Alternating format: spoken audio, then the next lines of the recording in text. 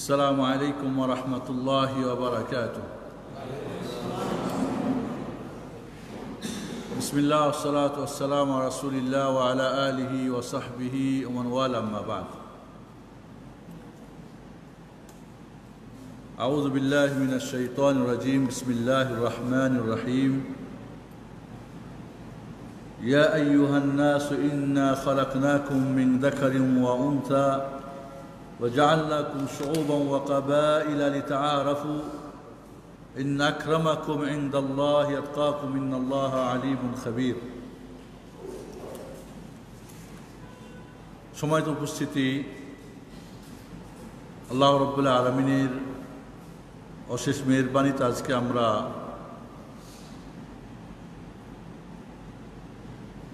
যে বিষয় নিয়ে আলোচনা করতে যাচ্ছি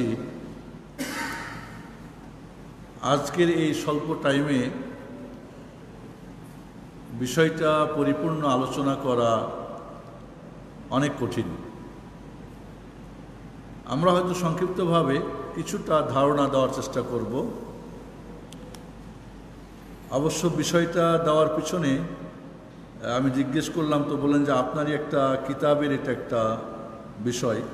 আপনারা দেখতে পাচ্ছেন যে চার খলিফার জীবনী।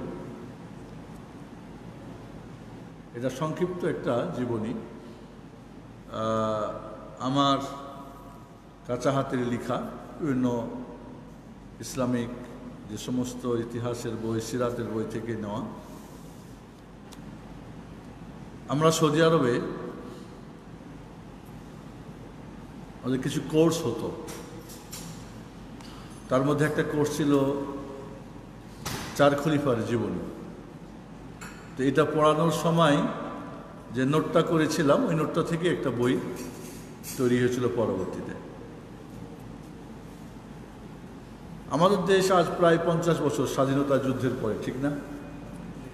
একটা দেশ স্বাধীন যারা করেছেন, তাদেরকে আমরা কীভাবে জানি? তাদের ইতিহাস, আমাদের একেবারে কচি কাঁচা বাচ্চাদেরকে পড়ানো হয়। হয় না? এবং প্রশ্নপত্রে এদের কিছু প্রশ্ন থেকেই থাকে। তাহলে একটা স্বাধীন বাংলাদেশের একটা ছোট্ট ভূখণ্ড যারা স্বাধীন করেছেন, তাদের যদি এই মর্যাদা, এই সম্মান এবং তাদের ইতিহাস পড়তে হবে, পড়াতে হবে হয়, যারা সারা পৃথিবীকে জয় করেছেন যারা মানব জাতিকে জয় করেছেন, যারা মানুষকে সারা পৃথিবীর জুলুম, অত্যাচার, অন্যায়, অবিচার থেকে যারা মানুষকে শয়তানের এবাদত থেকে, মানুষ, মানুষের এবাদত থেকে, জুলুম, অত্যাচার থেকে, যেই সাহাবাই ক্রাম রাজিয়াল্লাহ তালা আনহম,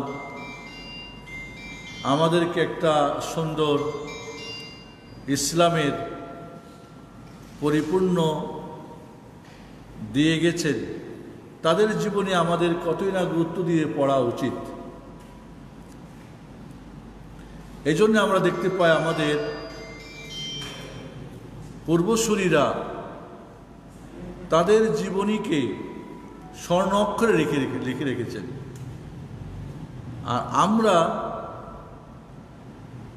খোলাফায় রাশেদিন বা সাহাবা ইকরাম রাজিয়াল্লাহ তালা আনহুমের জীবনী তো একটু পরে। তার আগে মোহাম্মদুর রসুল্লাহ সাল্লামের জীবনী আমরা কয়জন পড়ি? তিনি একক ব্যক্তি, যে সারা পৃথিবীকে যে শিক্ষা, যে দীক্ষা, যে মানবতা, যে আদর্শ, যে চরিত্র, সুন্দর একটা দিন দিয়ে গেছেন, পরিপূর্ণ জীবন ব্যবস্থা দিয়ে গেছেন। এবং এর মধ্যে শান্তি শুধু মুসলিমের জন্য না, অমুসলিমরা যে কোনো ধর্মের অবলম্বী হোক, সবার জন্যে তার এই জীবনে আমরা কত গুরুত্ব দিয়ে পড়ি।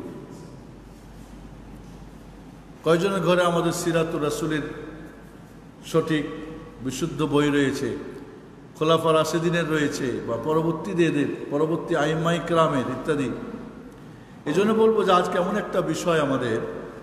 আর এই অল্প সময়ে বিষয়টা আমরা পরিপূর্ণ আলোচনা করব সেটাও সম্ভব না। আমার কাছে যে বইটা দেখছি, এই বইটাও যদি আমরা মাঝে মাঝে কিছু পড়ি, তবুও সময় হবে না। কিন্তু শুরুতে একটা কথা বলে রাখতে চাই, যে আমাদের সবার প্রতি অতীব জরুরি দায়িত্ব, কর্তব্য নিজে পরিবারে আমাদের দেশের সিলেবাসে এটাকে অন্তর্ভুক্ত করে এদের সঠিক জীবনী আমাদের পড়া। কারণ খোলাফায়ের আশেদিন তাদের এত উজ্জ্বল এক জীবনী, যেখানে কোনো প্রকার শখ, সন্দেহ, যেখানে কোনো প্রকার আমাদের ধূম্রজালের কোনো অবস্থান থাকতে পারে না।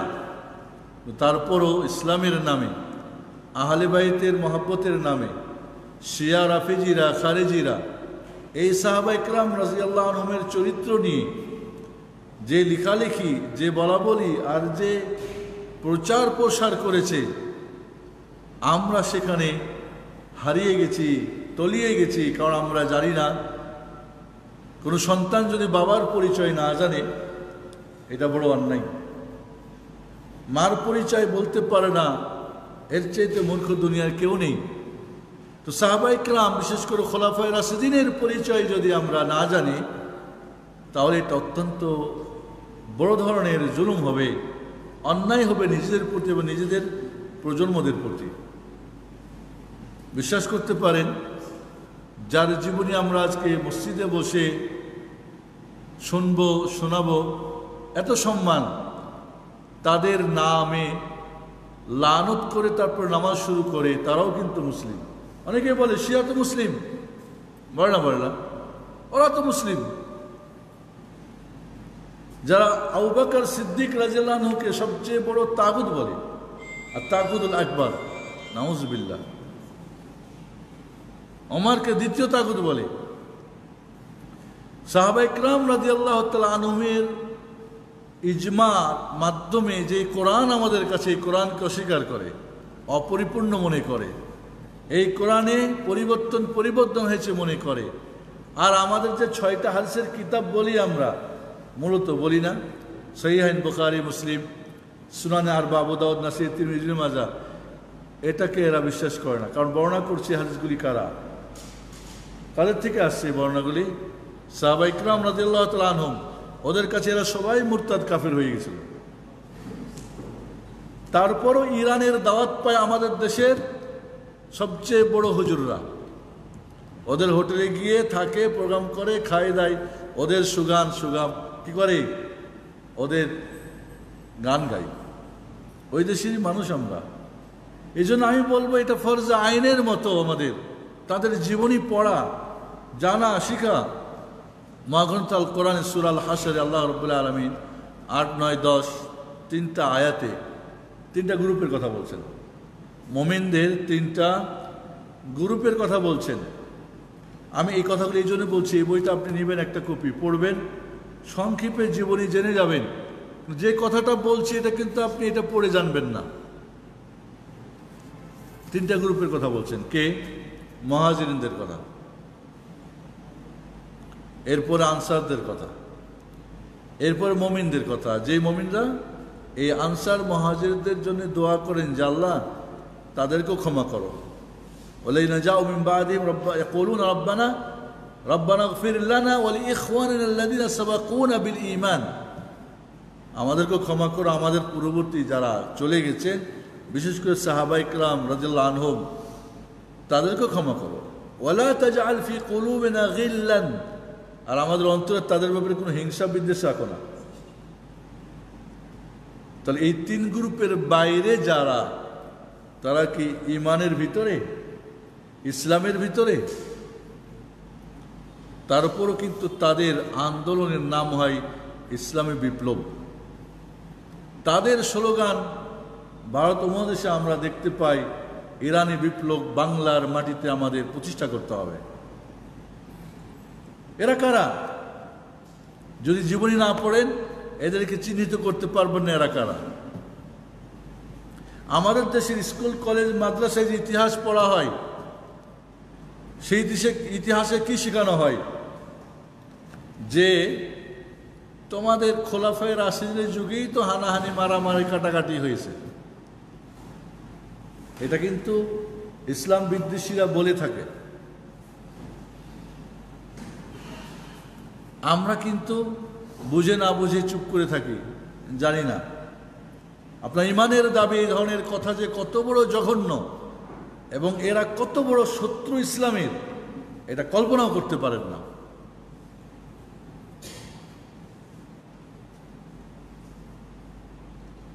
দুই ভাইয়ে ঝগড়া লাগাই দিয়ে পিছন দিক থেকে একজনকে হত্যা করে দিল। যে মারা গেল, তার ছেলে মেয়েদেরকে বলে দিল, তোর চাচাই ওকে মারছে, তোর বাবাকে মারছে। ওই দুজনে ঝগড়া ছিল। ঝগড়া লাগালো কারা? তৃতীয় পক্ষ। মারলো কারা? তৃতীয় পক্ষ। মরল কে? দুই পক্ষের একজন। মানে ঘরের মানুষ মরল।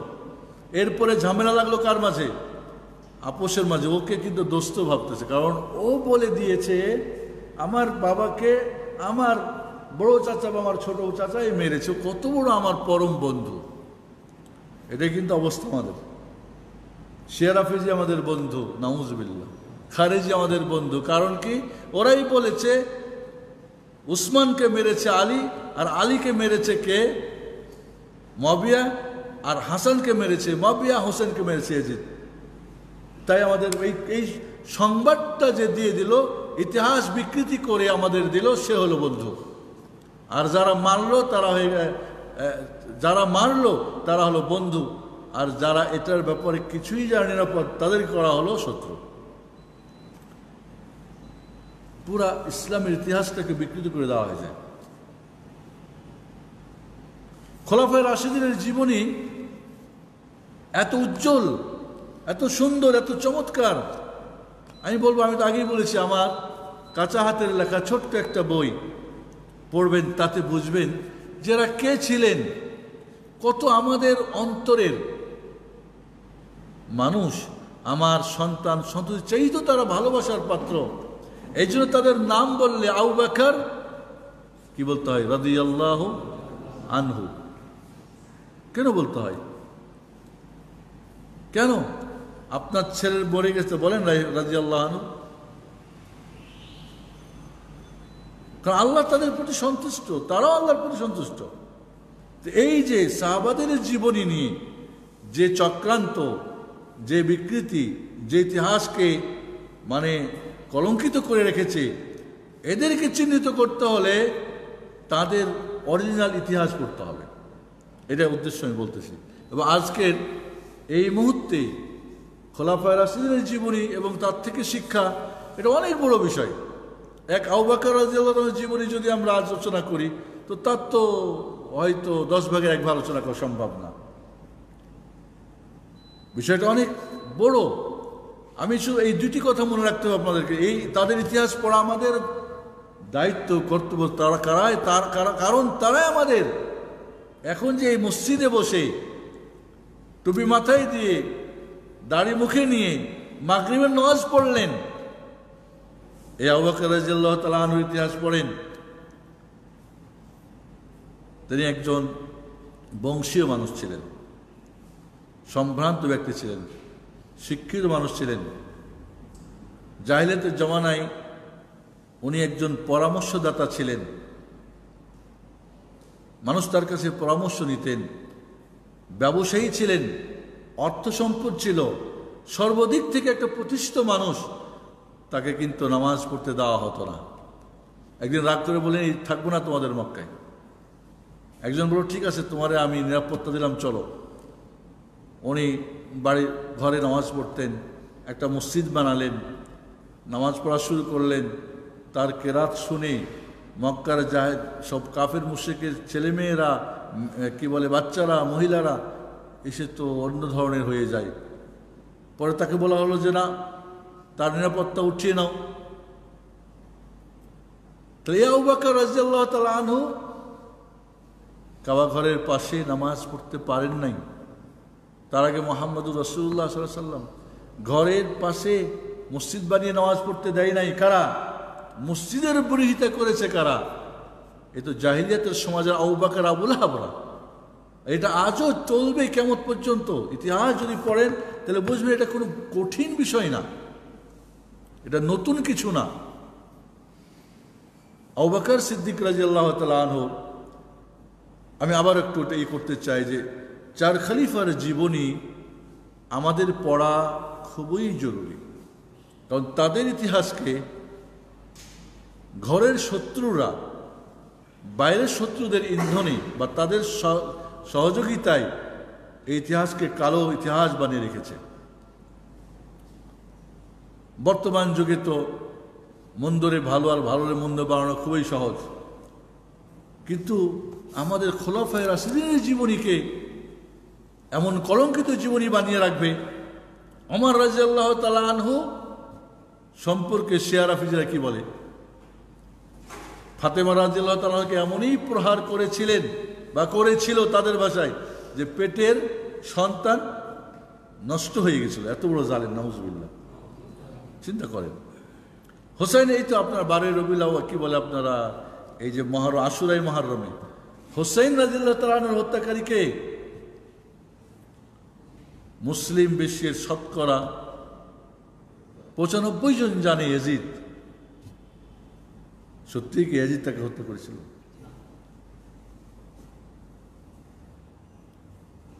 ইতিহাস বিকৃত হয়ে গেল।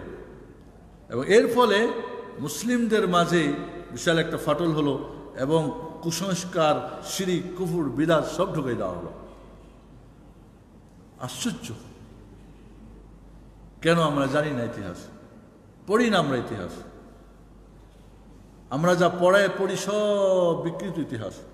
এই জন্যে খোলাফের আসিদের জীবনী, এত চমৎকার সুন্দর জীবনী, এত তাদের প্রত্যেকটি খলিফা আমাদের জীবনের জন্য, কারণ তারা ছিলেন কি? মোহাম্মদুর রসুল্লাহ সাল্লামের ফটোকপি। ঠিক না? তারা ছিলেন মোহাম্মদুর রসুল্লাহ সাল্লামের কারণ তিনি হাতে কলমে তাদেরকে তৈরি করে গেছিলেন। চিন্তা করতে পারেন, যদি ইহুদিদেরকে জিজ্ঞেস করা হয় যে তোমাদের মধ্যে সর্বশ্রেষ্ঠ ব্যক্তি কে, কি বলবে বলেন তো? বলেন একটু শেয়ার করেন। বলবে না মুসা আলাইসালাম বলবে না? এরপরে? বলবে মুসা আলাইসালামের সাহাবা যারা, তার যা ছাত্র বা তার সাথে যারা সহযোগী ছিলেন, সহচর ছিলেন তারা। এটাই তো বলবে, ঠিক না? যদি খ্রিস্টানদেরকে জিজ্ঞেস করা হয়, তোমাদের মধ্যে সর্বশ্রেষ্ঠ ব্যক্তি কে? বলবে ঈসা আলাই ইসলাতাম ঈসা আলাই অনেক বাড়াবাড়ি আছে ওদের। এখানে কেউ দ্বিমত পোষণ করবে না। জিজ্ঞেস করা হয়, তারপরে কারা উত্তম? বলবে আনসারি যারা ঈসা ইসলাতামের সহচর বা সাহাবি ছিলেন। তাহলে ইহুদিরা তাদের এই মত প্রকাশে সত্য না মিথ্যু কি বলেন আপনারা? খ্রিস্টানরা? আসেন শিয়ার আফিজিদের কাছে। খারিজিদের কাছে।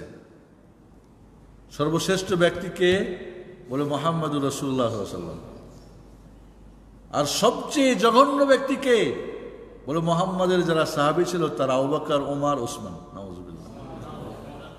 আয়েশা অম্মে হাবিবা আর অমুক তমুকের চিন্তা করে দেখেন এবং আজ বর্তমানে সারা পৃথিবীতে ইরান দূতাবাস থেকে এই জঘন্য ইতিহাস প্রচারের জন্যে তাদের লিটারেচার তাদের বই পুস্তক সব কিছু প্রচার হচ্ছে ইদানিং দেখবেন আপনারা আমি কেন এই জিনিসগুলি বলছি দেখবেন বিভিন্ন নবী রসুলদের ওরা ফিল্ম বানাচ্ছে ইসুফ জলাইকার ফিল্ম নওয়াজবিল্লা সব নবীদের ফিল্ম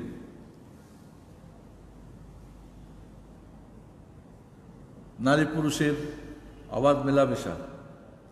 এর মানে কি? এই যে আমাদের সম্মান, শ্রদ্ধা সব ধ্বংস করেছে এবং এর পিছনে এই প্ল্যানে প্ল্যান প্ল্যান করে প্ল্যান দেয় কারা? ইহুদিরা। ইসলাম মুসলমানকে ধ্বংস করার জন্যেই যাদের জন্ম তারাই কিন্তু আজ আমাদের সমাজে পরিচিত। এবং এদেরকে প্রতিষ্ঠিত করার জন্যে পরাশক্তি ইহুদিরা, আমেরিকা এবং ব্রিটেন বা যারা আছে, সবাই মাঠে ময়দানে কাজ করতেছে। এরপরও যদি আমরা আমাদের বাবার ইতিহাস না জানি, আমাদের পূর্বপুরুষ ইতিহাস না জানি, সালাফি সালেহিনের ইতিহাস না জানি, আমরা এখন ইতিহাস জানি কার? বলেন। আমাদের আকাবেরদের ইতিহাস জানি। আব্দুল কাদের জেলানির ইতিহাস জানি। কি ইতিহাস জানি? অল্লাহ আব্দুল কাদের জেলানির আমি যখন জীবনী আলোচনা করছিলাম, বা তার আগে ইমামে আজ আবু হানিফা রহমতুল্লাহ আলের জীবনে আলোচনা করছিলাম, তখন আমার একটা কথা মনে হচ্ছিল যে এর চাইতে বড় মাজলুম বুঝে আর কেউ নেই। এত বড় মাজলুম ইমাম আজ আবু হানিফা রহমতুল্লাহ আলাই তার নাম দিয়ে, তার অনুসারীরা, তার ভক্তরা কি যে করছে তার জীবনীটাকে। পুরা তসনস করে দিয়েছে। আব্দুল কাদের জেলানির জীবনী পড়লে মনে হয় যে এর চাইতে বড় মুশ্রেক আর এর চাইতে বড় কুফুরি কারিক আর কেউ ছিল না নাউজবিল্লা পুরো জীবনীটা শিরিক দিয়ে ভরা। এরা করল কি? বাড়িয়ে এদের জীবনী ধ্বংস করল। শেয়ার আফেজিরা আমাদের সালাবদের জীবনী ছিঁড়ে ছাটে ধ্বংস করল। পাইলাম কি আমরা? কি পেয়েছি? আউবাকর রাজি আল্লাহ তালা আনহু সম্পর্কে এখন যদি আমরা জিজ্ঞেস করি, কি ভালো বলতে পারব? আমি জানি না তার সম্পর্কে এখন তার সম্পর্কে যদি খারাপ কিছু বলে, ওটাই মেনে নেব আমি। ওটাই হয়তো আমরা মেনে নেব। এই জন্যে আউবাকা সিদ্দিক রাজি আল্লাহ তালা আনহু, তার জীবনী নিয়ে যদি আলোচনা করি আমরা, অনেক সময়ের দরকার। আউবাকার রাজি আল্লাহ তালা আনহু, তিনি তো সর্বপ্রথম যিনি ইমান এনেছিলেন রাসুলের প্রতি আরে রাজি আল্লাহ অর্দান এই সর্বপ্রথম যে মানুষটা ইমান আনে আচ্ছা মোহাম্মদুর রসুল্লাহ সাল্লাম যাদেরকে দাওয়াত দিলেন এবং তারা ইমান আনলেন, এই লোকগুলি তো সর্বশ্রেষ্ঠ হওয়ার কথা। তাওবাকার সিদ্দিক সর্বপ্রথম যিনি ইমান আনলেন পুরুষদের মধ্যে হতে, এর আগে খাদিজা জেলা আনু এনেছিলেন মহিলাদের মধ্যে। উনি তো রাসুলের আলাইসালাম গারে সাউর সাউর পর্বতের গুহা সঙ্গী, ঠিক না? উনি তো ওই ব্যক্তি যিনি হিজরতের সাথী। উনি তো ওই ব্যক্তি যে রাসুলের জীবদ্দশায় যিনি ইমামতি করেছিলেন। তো এই ব্যক্তি সম্পর্কে কেমন ধারণা হওয়া উচিত আমাদের? যিনি তার সব কিছু উজাড় করে দিলেন রাসুলের এই তৌহিদের দাওয়াতকে প্রতিষ্ঠিত করার জন্যে। যেদিন ইমান এনেছিলেন, সেদিন তারা কাছে বড় ব্যবসায়ী ছিলেন। চল্লিশ হাজার দিরহাম বা দিনার ছিল তার কাছে। মৃত্যুর সময় তো একটাও নিয়ে যান নাই। তাবুকের যুদ্ধের দিন কি বলেছিলেন? কি বলেছিলেন? আবাকার রাজাকে যখন জিজ্ঞেস করেন আবাকার বাড়িতে কি রেখেছিস? সেদিন উমার রাজিল্লাহ তালা একটু প্রতিযোগিতা করতে চেয়েছিলেন যে আজকে আমি সর্বশ্রেষ্ঠ বা আউবাকারের উপরে থাকার চেষ্টা করব। কারণ সবসময় আউবাকারই আগে থাকে। তো আজকে ওনার প্ল্যান হলো যে সবচেয়ে বেশি দিয়ে আউবাকারের উপরে যাওয়া যায় কি না? মানে একটু দিনের ভালো কাজে আমি বেশি অগ্রসর হওয়া যায় কি না? যখন জিজ্ঞেস করলেন আউবাকার মাদা তার একটা ফিলবেইত ঘরে কি রেখে আসো কি বলেছিলেন? তারাক্তুল্লাহ রসুল্লাহ ভাবতে পারেন, এমন ব্যক্তি মোনাফেক হতে পারে নমস্বিল্লাহ এমন ব্যক্তি মোরতাদ হতে পারে রাসের মৃত্যুর পরে নামসবিল্লা এবং যা মোবাসর বিল জান্না যেটা আস দশজন যে সুসংবাদ প্রাপ্ত জান্নাতের, তার প্রথমেই তো আউবাকার ঠিক না? অবাকার ফিল জান্নাত। তো যিনি জান্নাতি সাহাবি, সুসংবাদ প্রাপ্ত, তাকে কাফের মনে করা কত বড় কুফুরি কত বড় পাপ চিন্তা করেন। তারপরও ইরানের দাওয়াতে হুজুররা হাজির হন। এরা কোন হুজুর? আপনার দেশের এ ক্লাসের হুজুররা। তাহলে এরা আপনাকে কোন ইতিহাস পড়াবে, কোন দিন শিখাবে? বড় দুঃখজনক। আবাকর সিদ্দিক রাজি আল্লাহ আনহ খুব নরম দিলের মানুষ ছিলেন। দানবীর ছিলেন এবং শুনেন, এখানে দুইটা মানুষ ইসলামের জন্যে যা দিয়েছেন, এই ঋণ পরিশোধ করার মতো না। আল্লাহ নবী আলিসাল্লামের খাদিসে বলেছেন তোমরা যে যা দিয়েছ দিনের জন্যে, সবার প্রতিদান আমি ফেরত দিয়েছি। পরবর্তীতে যখন জয়, বিজয় হয়েছে, তখন অনেক ধন সম্পদ হয়েছে। সবাইকে দিয়েছি, যাও, নিয়ে যাও। ইল্লাইস নাইন। দুইজনকে আমি দিতে অক্ষম। দুইনের দুইজনের ঋণ পরিশোধ করতে অক্ষম। আল্লাহ ইউকাফি ওহুমা আল্লাহ তাদের এই প্রতিদান দিবেন। আমি মোহাম্মদ সাল্লাহ সাল্লামের দেওয়ার সেই সামর্থ্য নেই। সেই দুজনকে একজন নারী খারিজাতুল কুবরা রাজি আল্লাহ আর একজন আউবাকর সিদ্দিক রাজি আল্লাহ এই দুটি মানুষের ভালোবাসা, আন্তরিকতা, এদের জান, মাল, সুখে, দুঃখে, সর্ব অবস্থায়।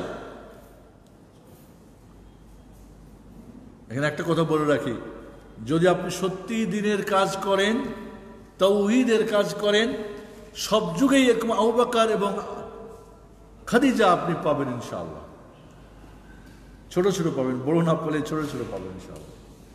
এটাই বাস্তব। এটাই বাস্তব। যে আউবাকার রাজি আল্লাহ তালা আনহু সম্পর্কে কোরআনে, হাদিসে যার খেলাফত সম্পর্কে প্রায় বিশটা হাদিস এবং কোরআনের মাধ্যমে বোঝা যায় তিনিই প্রথম খালিফা হবেন। কোনো সন্দেহ নেই। এরপরে যে যারা বলে তার খেলাফতকে অস্বীকার করে, তারা কারা? রাসুল সাল্লামের জীবদ্দশায় আউবাক্কারের নামাজের জামাতের ইমামতি করা কি প্রমাণ করে? একজন মহিলা এসে বললেন তার হকের ব্যাপারে আল্লাহ নবীকে বললেন, আল্লাহ তুমি পরে আসো। বলে, আপনাকে যদি না পাই বলে আউবাকারের কাছে যাবা। রাজিয়াল্লাহ আনহর মোট কথা আউবাকার রাজিল্লাহ তালানহর খেলাফতের ব্যাপারটা, প্রথম যে তিনি খালিফা, এখানে খুব সন্দেহ করা মানে তার ইমান থাকবে না থাকবে না, সেটা একটা বিষয়। সেক্ষেত্রে এমনও লোক পাওয়া যায় কয় শিয়া সুন্নি কিসের এগুলি? সবাই তো মুসলমান। আবার কিছু বলে, সবই তো আল্লাহর বান্দা, কি আবার খ্রিস্টান, ইহুদি, হিন্দু? ওরাও জান্নাতে যাবে। ওরাও তো আল্লাহর বান্দা। কারণ আমরা কিন্তু আসলে দিন সম্পর্কে এতই আমরা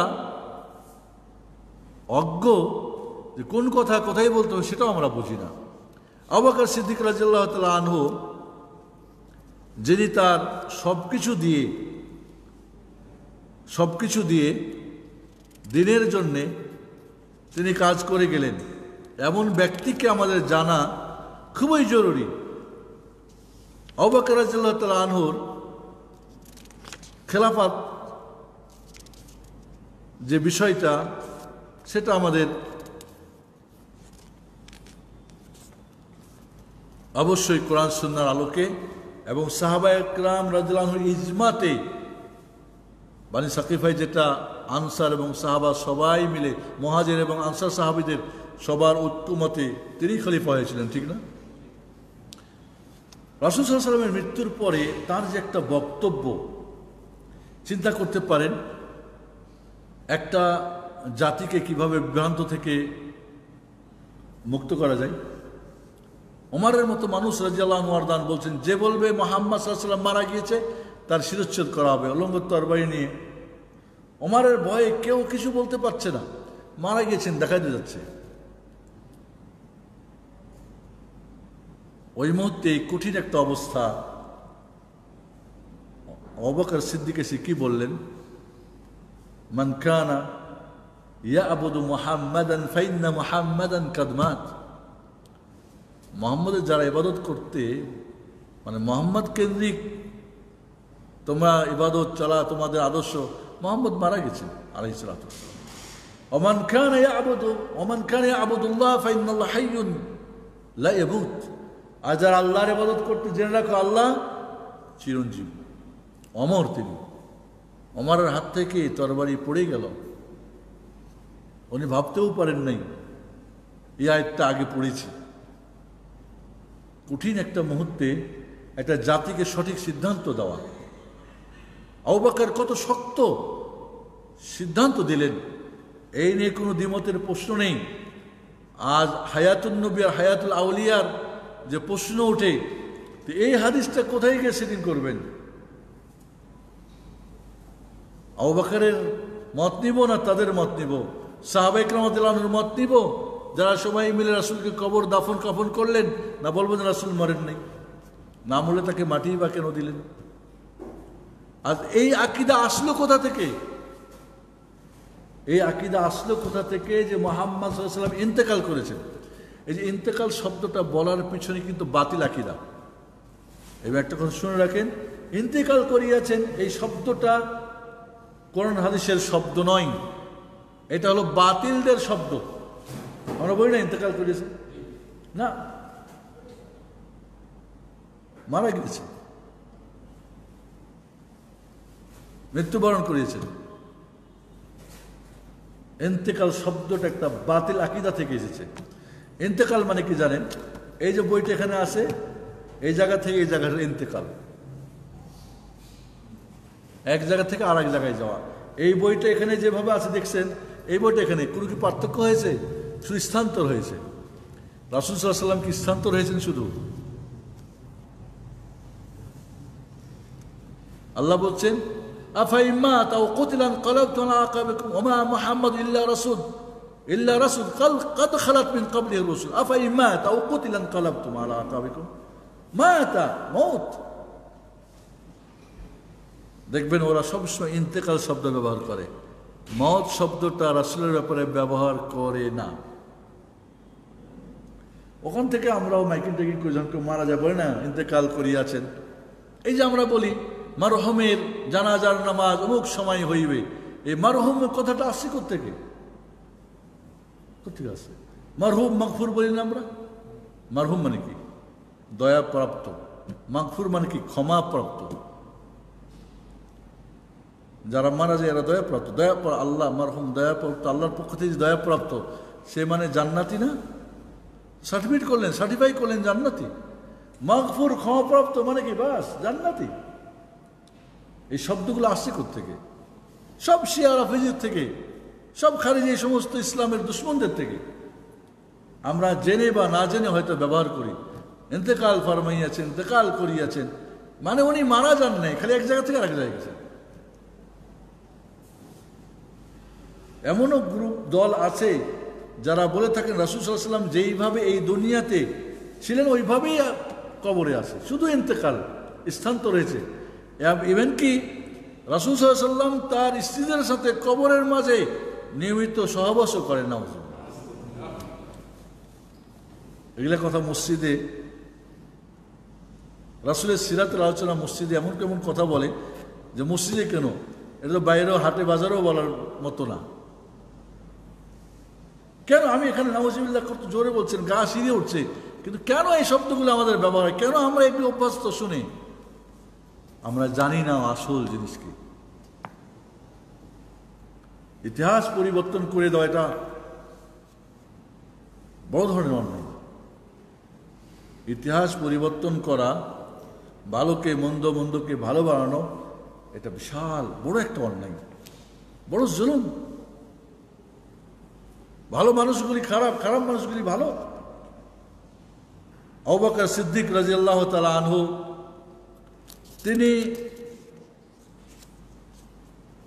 রাসুল সাল্লামের মন্ত্রী হিসেবে কাজ করতেন।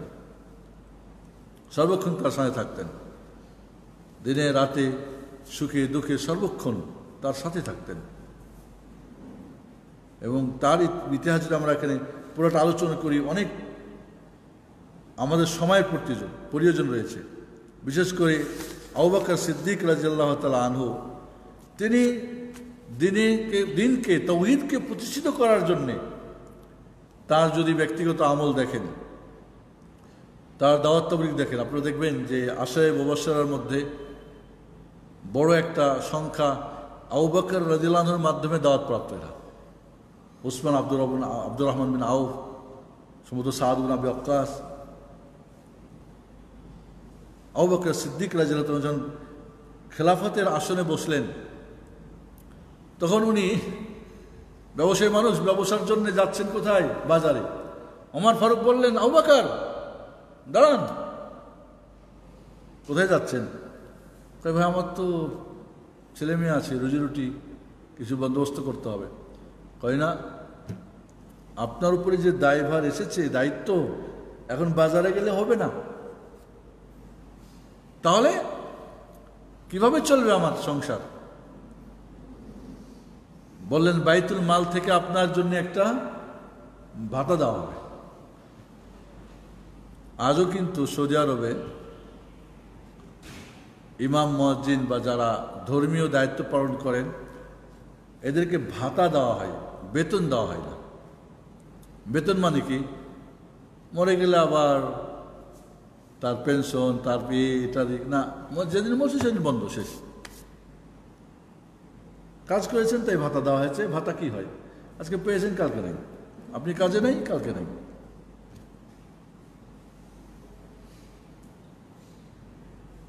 অবাকর সিদ্দিক রাজিয়াল্লাহ তালা আনহু দুই বছর সাড়ে তিন মাস খেলাফতের দায়িত্ব পালন করলেন। খেলাফতের দায়িত্ব নিয়েই যে ভাষণটা দিলেন।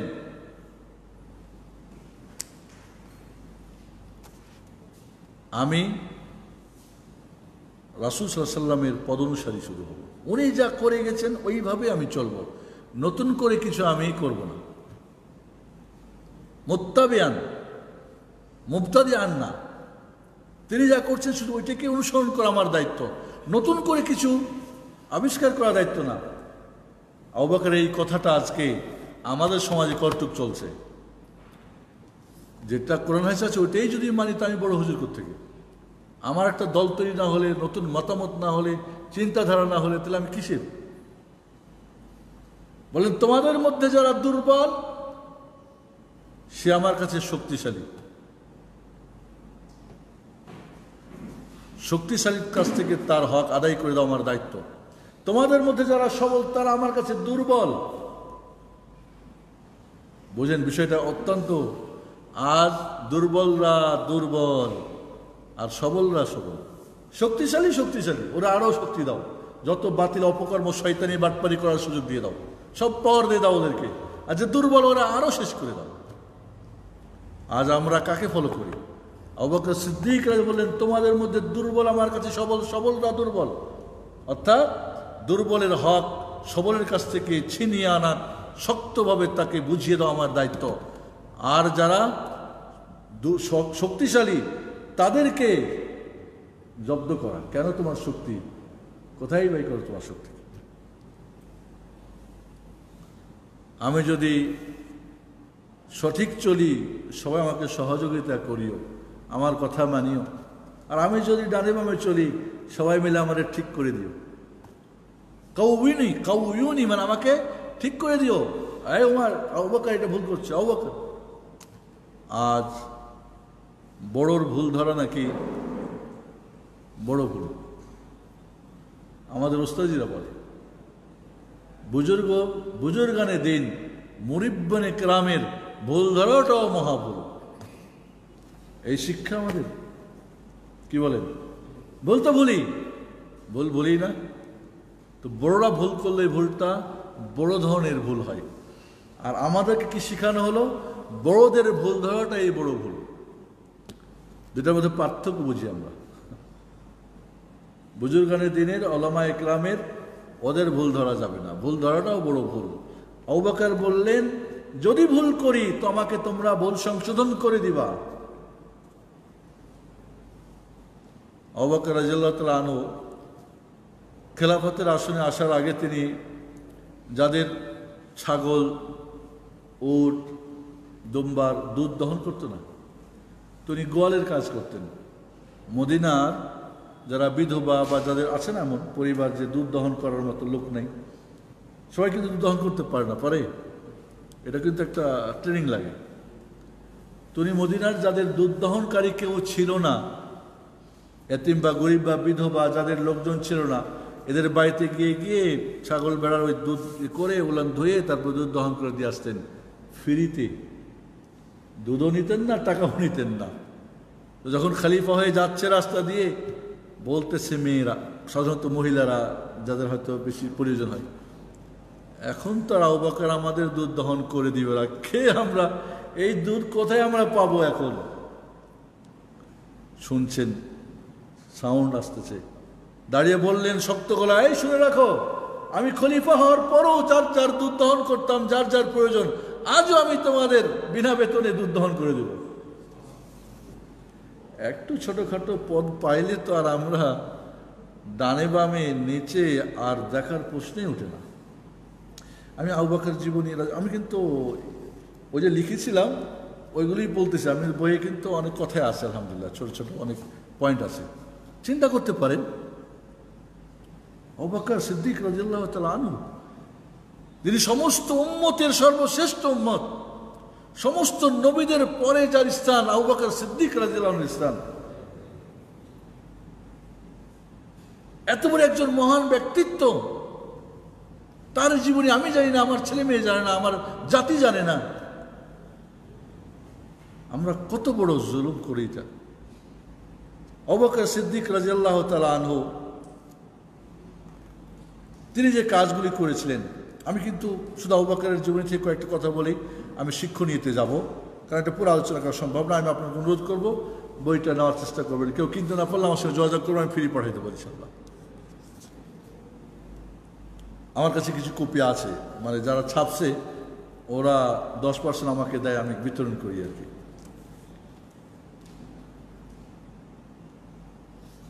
অবাকার রাজিল্লাহ আনহুর প্রথম যে কাজটা করেছিলেন তিনি খেলাফতের আসনে বসে মুসলিমদের ঐক্যের ব্যাপারটা।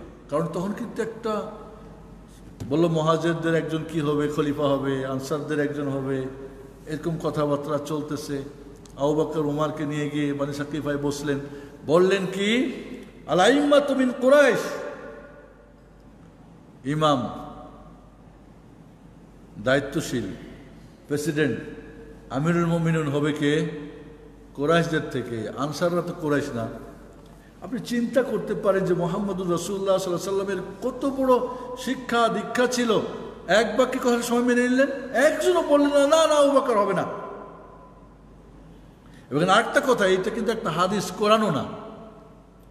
এর মানে কোরআনের আয়াত যেইভাবে সাহাবাইকরাম মানতে বাধ্য ছিলেন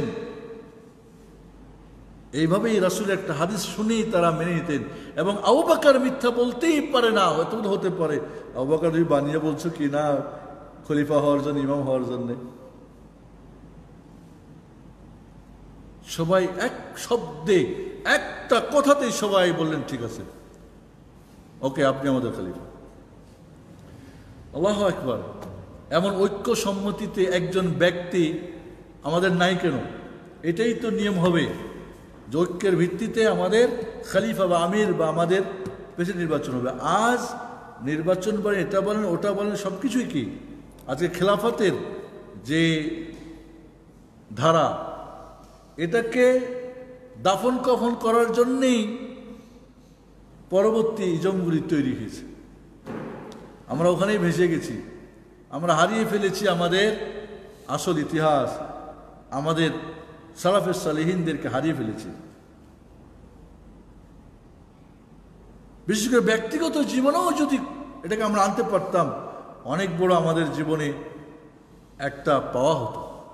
অবাকার সিদ্দিক রাজিলানু রাসুলের মৃত্যুর পরে যে একটা অনেকের একটা গুঞ্জন শুরু হয়েছিল। অবকর সিদ্দিক রাজিল্লাহ তালান কি করলেন? এমন একটা ভাষণ দিলেন, সব ঠিক হয়ে গেল। সকলের ঐক্যমতে অবকর সিদ্দিক রাজিল্লাহ খালিফা হলেন, তিনি মসজিদে ভাষণ দিলেন। যে ভাষণের কথা কিছু মানে কিঞ্চিত বলতেছিলাম, যে আমি তোমাদের মধ্যে সর্বোত্তম না, তারপরও তোমরা আমাকেই দিয়েছ, এখন তো আমিই সর্বোত্তম, কি বলেন? উনি কিন্তু বলেছিলেন আপনার এই এই কথাগুলি যদি আমাদের বর্তমান নেতাদের সাথে মিলান, তাহলে দেখবেন যে এগুলির তো কোনো বিন্দু পরিমাণও কোনো মিল নেই। আমি তোমাদের মধ্যে সর্বোত্তম ব্যক্তি নই। তারপরও তোমরা আমাকে দায়িত্ব দিয়েছ। যিনি দায়িত্ব পান, তিনি বলে আমি সর্বোত্তম না। আর আমরা দায়িত্ব নেওয়ার জন্য বলি আমি সর্বোত্তম। পার্থক্যটা দেখেন। যে বলে, আমি ভালো সে কি ভালো? মানুষ যারে ভালো বলে, সেই তো ভালো হয়। কি যার কথা আছে? নিজেকে যে ভালো বলে, সে ভালো নয়। শব্দটা আমার মনে নেই। মানুষ যাকে ভালো বলে, সেই তো ভালো হয়। আল্লাহ নবী আলিসাল্লাম বসেছিলেন, একটা জানাজা নিয়ে যাচ্ছে। সাহাবা ইকরাম বললেন, লোকটা ভালো ছিল। বললেন অজাবাদ অজীব হয়ে গেছে। এরপর একটা লোক যাচ্ছিল, সাহাবা ইকরাম বললেন লোকটা খারাপ। বললেন অজাবাদ মুনাফিক ছিল আর কি। বললেন অজীব হয়ে গেছে। সাহাবা ইকরাম ভাবলেন, আরে যার ব্যাপারে ভালো বললাম, সেটাও বললেন অজাব মানে অজীব হয়ে গেছে। আর যার ব্যাপারে খারাপ বললাম সেও অজীব হয়েছে। ব্যাপারটা কি আর আসলে একটু বুঝিয়ে বলেন। বলে, যার তোমরা ভালো বলছো, সুপারিশ করছ, ওর জন্য জান্নাত অজীব হয়ে গেছে। আর যার ব্যাপারে তোমরা খারাপ বলছো, ওর জন্য জাহান্নাম অজীব হয়ে গেছে। তোমরা এই দুনিয়াতে কি সাক্ষী তোমরা? আজকে আমরা জানাজার আগে বলি বলেন লোকটা ভালো ছিলেন। একটা খারাপ মানুষকে সবাইকে বলানো যে বলেন লোকটা ভালো। এই কাজটা কত জঘন্য কাজ বলেন তো?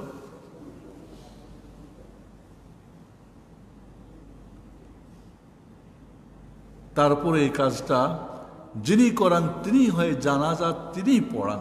এই ব্যক্তির জানাজা আল্লাহর কাছে কতটুকুই গ্রহণযোগ্য হবে? আর এই লোকগুলি যারা একটা খারাপ লোককে বলল ভালো, এই লোকগুলির জানাজার নামাজের যে দোয়া আল্লাহ কতটুকু কবুল করবেন? চিন্তা করতে পারছেন কি? আমরা তো মনে করি, বাস হ্যাঁ বলে, ভালো বলছে, ভালো হয়ে গেল। ওই যে হাদিসটা কোথায় সেট করে দিল? ভালো বললে ভালো, খারাপ বললে খারাপ। ভালো যদি আসল নিজের থেকেই বলে, তাহলে না ভালো। অবাকার সিদ্দিক রাজিল আজকে বললেন, রাসুল সাল্লাম আজকে কে জানাজার নামাজ পড়েছো বলে আমি? কে এতিমকে দুঃখী গরিব খাওয়াইছো বলে আমি? রোজা আছো কে আমি? এটাকে এটাকে দান চিন্তা করছ আমি? সবগুলোই আমি।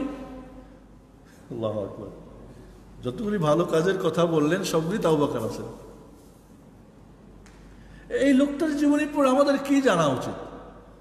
রসুল সাল্লাম বললেন যে, জান্নাতের দরজাগুলো। বাবুল সাদাকা, বাবুর রাইয়ান, বাবুল জিহাদ বাবুল সালা মানে জান্নাতের দরজাগুলো সালাতে যারা সালাতে বেশি অগ্রগামী তাদের জন্যে। যারা সিয়ামে তাদের জন্যে। বাবুর রাইয়ান, জাহাদ, বাবুল জাহাদ বাবুল সাদাকা। বিভিন্ন দরজার কথা, আটটা দরজার কথা আছে না? তো বলেন, তাকে সেই দরজা থেকে ডাকা হবে। এই, অমুক, আসো। জেহাদ বেশি ছিল, চলে আসো জেহাদের দরজা দিয়ে দানবীর আবাকর রাজন বলে রসুল্লাহ এমন কি হবে? এমন কোন মানুষ কি হবে যাকে এই সব দরজা থেকে ডাকা হবে?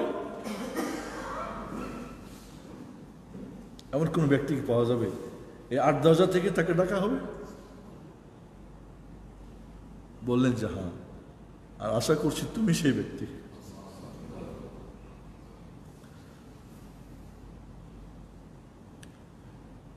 আটটি দরজার ভিআইপি মেহমান।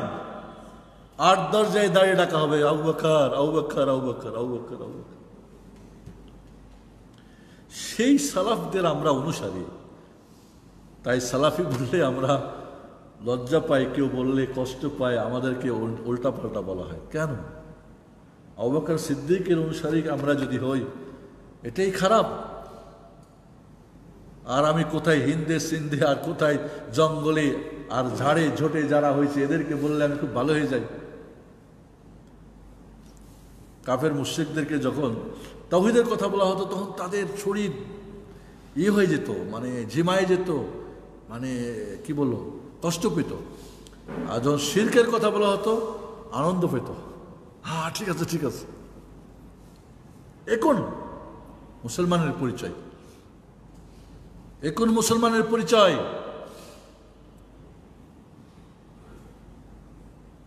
যে খোমাইনি খোমাইনিকে ইমাম উপাধি দেওয়া হয়? তবে ইমাম কোনো সন্দেহ খোমাইনি কিন্তু ইমাম কোনো সন্দেহ নেই। কোরআনে দুই প্রকার ইমামের কথা আল্লাহ বলছেন। একটা আইমাতুল দলাল, একটা আইমাতুল হুদা। গুমরাহের যে ইমাম, কোনো সন্দেহ নেই।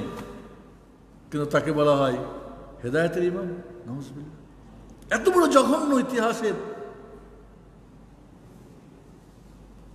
মানে পরিবর্তন।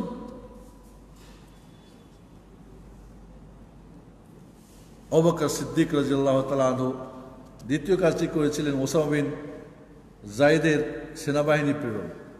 ওসামা বিন জায়েদ ছোট মানুষ সতেরো বছর বয়স, বিশাল বাহিনী প্রেরণ রাসুল সাল্লাম এটা প্রস্তুত করেছিলেন। তিনি দুনিয়া ছেড়ে চলে গেলেন। আবু বকর বললেন, ঠিক আছে, তোমরা যাও। সাহাবাইকরাম বললেন, এখন এই ছোট বাচ্চা দিয়ে বিশাল রোম সম্রাটের সঙ্গে যুদ্ধ, এটা কেমন হয়? এটা ওটা অমুক কথা। না, রাসুলের সিদ্ধান্ত পরিবর্তন হবে না। আমরা হাদিস কোরআনকে পেঁচাই, পুচাই, এই দিকে ডানে ব্যামে করে নিজের মাঝাব নিজের মতকে রাখার জন্যে কত কিছু করি? আর বলি আউবাকার সিদ্দিকের অনুসারী আমরা, নাম রাখি আউবাকার সিদ্দিক। আউবাকার নাম হলি সিদ্দিক। কোথায় আমরা? মুরতাদদের বিরুদ্ধে যে তার শক্ত অবস্থান। ওমারের মতো মানুষ বললেন রাজিয়ালানু আবু বাকার, ওরা তো নামাজ পড়ে। জাকান না হয় দিতে চাচ্ছে না। এই জন্য আপনি ওদের সঙ্গে যুদ্ধ করবেন? কয় যে, বললেন, যারা নামাজ, সালাতে আর জাকাতে পার্থক্য করে তোমরা যদি কেউ আমার সাথে না থাকো, আমি একাই আউবাকার আমি কি করব? তার সঙ্গে যুদ্ধ করব। এই জন্য ঐতিহাসিকগণ বলেছেন যে উমারের কথা আমরা জানি খুব শক্ত খবিয়ে কিন্তু তার চেয়ে শক্ত ছিলেন আউবাকার রাজিয়াল্লাহ দেনের ব্যাপারে কোনো ছাড় নেই। কোনো প্রকার ডানে বামের কোনো অবস্থান নেওয়ার সুযোগ নেই। সত্যিকারই অবাকার সিদ্দিক রাজিয়াল্লাহ তালানো যারা মুরতাদ হয়ে গেছিল, জাকাত দেবে না। তাদের বিরুদ্ধে তার অবস্থান, এটা কঠিন একটা অবস্থান ছিল। যারা জাকাত দেবে না, তাদের বিরুদ্ধে, মুরতাদদের বিরুদ্ধে, মিথ্যা মুসালামাতুল কাদ্দাব যে নবী, মিথ্যুক নবী দাবি, নবী নবুয়ার দাবি দাবি করেছিল, তাকে হত্যার বিষয়, কোরআন একাত্রিত করার বিষয়, জাইনুল সাবেতের নেতৃত্বে ইরাক এবং বৃহত্তর স্বামীর বিজয়ের সূচনা। তো এই যে উমার রাজিয়াল্লাহ তালা আনহুর জীবনীটা একটা স্বর্ণ জীবনী আমাদের জন্য। যদি পড়েন তার জীবনীটা, দেখবেন যে এমন মানুষ আমাদের পূর্বসূরি, আর আমি তাদের উত্তরসূরি এখন আল্লাহ নিজেকে ধিক দিবেন, নিজেকে ধিক্কার দিবেন যে আমি কোথায়? আজকে কিছু মানুষ নাম নিয়ে ব্যস্ত। কিছু পর এখন নামের আগে পরে সালাফি লাগা শুরু করছে। বাহ এত সহজ এটা একটা। এটা কোনো লেভেল না, এটা তো কোনো সাইনবোর্ড না। এটা তো নামে, কাজের নাম, এটা তো কাজ। কাজের প্রতীক। এটা কোনো লেভেল লকব না। অবাকার সিদ্দিক রাজিয়াল্লাহ তালা আনহ ওমর রাজিয়াল জীবনী নিয়ে একটা আমার আলোচনা মনে হয়? পুরো জীবনী ছিল। এগুলো আমরা ইনশাআল্লাহ ভিডিও আকারে আপনার কাছে উপহার দিতে চাই। আমরা কাজ শুরু করতে যাচ্ছি, ইনশাআল্লাহ। দোয়া করবেন সবাই। ওমর রাজিয়াল্লাহ তালানহু বা আলী উসমান রাজা তালানহু আলী আলী রাজিয়াল্লাহ তালানহু আবাকার রাজিয়াল্লাহ তালানহুর জীবনী থেকে যে জিনিসটা আমরা পাই, যে সত্যতা, সত্যায়ন। কোরআনের যে আয়াতটা নাজিল হয়েছে, আল্লাহ যা আল্লাহ যা আবি সিদ্ক যিনি সত্য নিয়ে এসেছেন ওল্লাদি যা যিনি সত্য নিয়ে এসেছেন মানে কোরআন নিয়ে এসেছেন। অসদ্দা কাবিহি এবং যিনি তাকে সত্যায়ন করেছেন। যিনি সত্য নিয়ে এসেছেন, তিনি কে? মোহাম্মদ রসুল্লাহ সাল্লাম আর যিনি সত্যায়ন করেছেন, তিনি কে? আবাকর সিদ্দিক রাজিল্লাহ সিদ্দিক টাইটেল কখন পেলেন বলেন? এবং তাকে আল্লাহ নবী আতিকও টাইটেল দিয়েছেন, আতিক মানে আতিক। ওতাকাই মিনান্নার জাহার নাম থেকে মুক্ত। সিদ্দিক, আপনারা জানেন যে মেয়েরাজের রাত্রিতে আবু জাহালের যখন আল্লাহ নবী মদিন মক্কায় এসে মিশ্রা মেরাজের ঘটনা বললেন, আবু জাহাল বুঝলো, আজকে মোহাম্মদকে মৃত্যুক প্রমাণ করার সবচেয়ে বড় সুযোগ। এবং মোহাম্মদের পক্ষে সবচেয়ে শক্ত যার অবস্থান তিনি হচ্ছেন আউবাকার আউবাকারকে বলি আউবাকার শুনছো? আউবাকার কাছে কি বলে আউবাকার শুনছো? তোমার দোস্ত মোহাম্মদ কি বলে? এক মাসের রাস্তা বায়তুল লাইল হারাম থেকে বায়তুল মাকদেশ যেতে, এই রাত্রে বেলে ওখানে চলে গেছে। তারপরে নাকি সপ্তম আকাশে গেছে। তারপরে এই হয়েছে এই হয়েছে। তো তার আত্মবিশ্বাস ছিল যে এই ধরনের অবাস্তব কথাবার্তা শুনলে আউবাকার বলবে, না, এটা হতেই পারে না। মোহাম্মদকে হয়তো মৃত্যু প্রমাণ করবে। আর এর মাধ্যমে আবু জাহালের তার বাতিলের দাওয়াতের একটা সুযোগ হয়ে যাবে। বলেন সত্যি কি শুনেছ তোমরা? বলে হ্যাঁ। মোহাম্মদ সাল্লাম বলেছেন, বলে হ্যাঁ আমি বিশ্বাস করলাম। এদিকে কিন্তু তিনি সিদ্দিক টাইটেল পেয়েছিলেন। আল্লাহ বলছেন ওয়াসাদ্দা কাবিহি মোহসেনরা বলেছেন উনি হচ্ছেন আউবাকার সিদ্দিক রাজা তাহলে সদ্দাকা এই তাসদিক বা সিদ্দিক শব্দ কোরআনে তার ব্যাপারে এসেছে। ওখান থেকে রাসুল তাকে সিদ্দিক টাইটেল দিয়েছেন। এটা আল্লাহ আগে দিয়েছেন, তারপরে মোহাম্মদ রসুল্লাহ সাল্লাম দিয়েছেন। এরপরে আউবাকারকে নিয়ে যারা কথা বলবে, তাদের সঙ্গে আমাদের কি সম্পর্ক হওয়া উচিত? তাদের হোটেলে গিয়ে সেদিনকেও শুনলাম একজন আমাদের দেশের সুনামধন্য ওস্তাদ, ভালো। উনি বলছেন, উনি আর উনি আরও ওনাদের গ্রুপের দলের লোকজন গিয়ে ইরানের দাওয়াত পেয়ে ওখানে গেছে। আজও তারা যায়, আমরা জানি। আজও তাদের গুণ গায়। কেন এরা? এই জন্য আউবাকার সিদ্দিক রাজি আল্লাহ তালা আনহু তার জীবন থেকে আমরা কিছু আপনাদের কাছে বললাম অবাকর সিদ্দিক রাজু ওমর রাজিল্লাহ তালা আনহু, বা ওসমান রাজু বা আলী ইবনা আবি তালেব রাজু তাদের জীবনী আমরা পড়ব। এটা আজকে আমরা একটা মেসেজ নিয়ে যাব, এই জীবনে আমরা পড়ব। আমি বলছি, না, আমার এই ছোট্ট একটা বই আপনি দীর্ঘ তাদের মানে বিস্তারিত জীবনী পড়ার চেষ্টা করুন। তবে অবশ্যই অথেন্টিক কিনা আগে জেনে নেবেন। যেখান সেখান থেকে পড়বেন, তাহলে তো আপনি সাগরের মধ্যে ভেসে যাবেন কুল কিনারা পাবেন না। অবাকার রাজিয়াল্লাহ তালা আনু এবং ওমার, ওসমান, আলী, তাদের জীবনী থেকে কয়েকটা আমি শিক্ষা আপনারা দিতে চাই।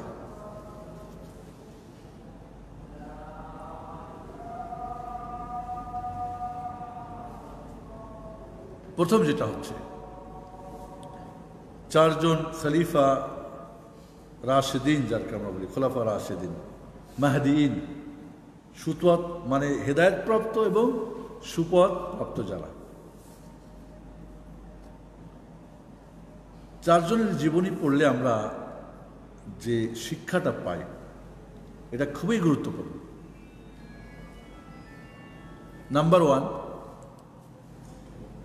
কোরআন সন্ন্যার একচ্ছত্র অনুসরণ।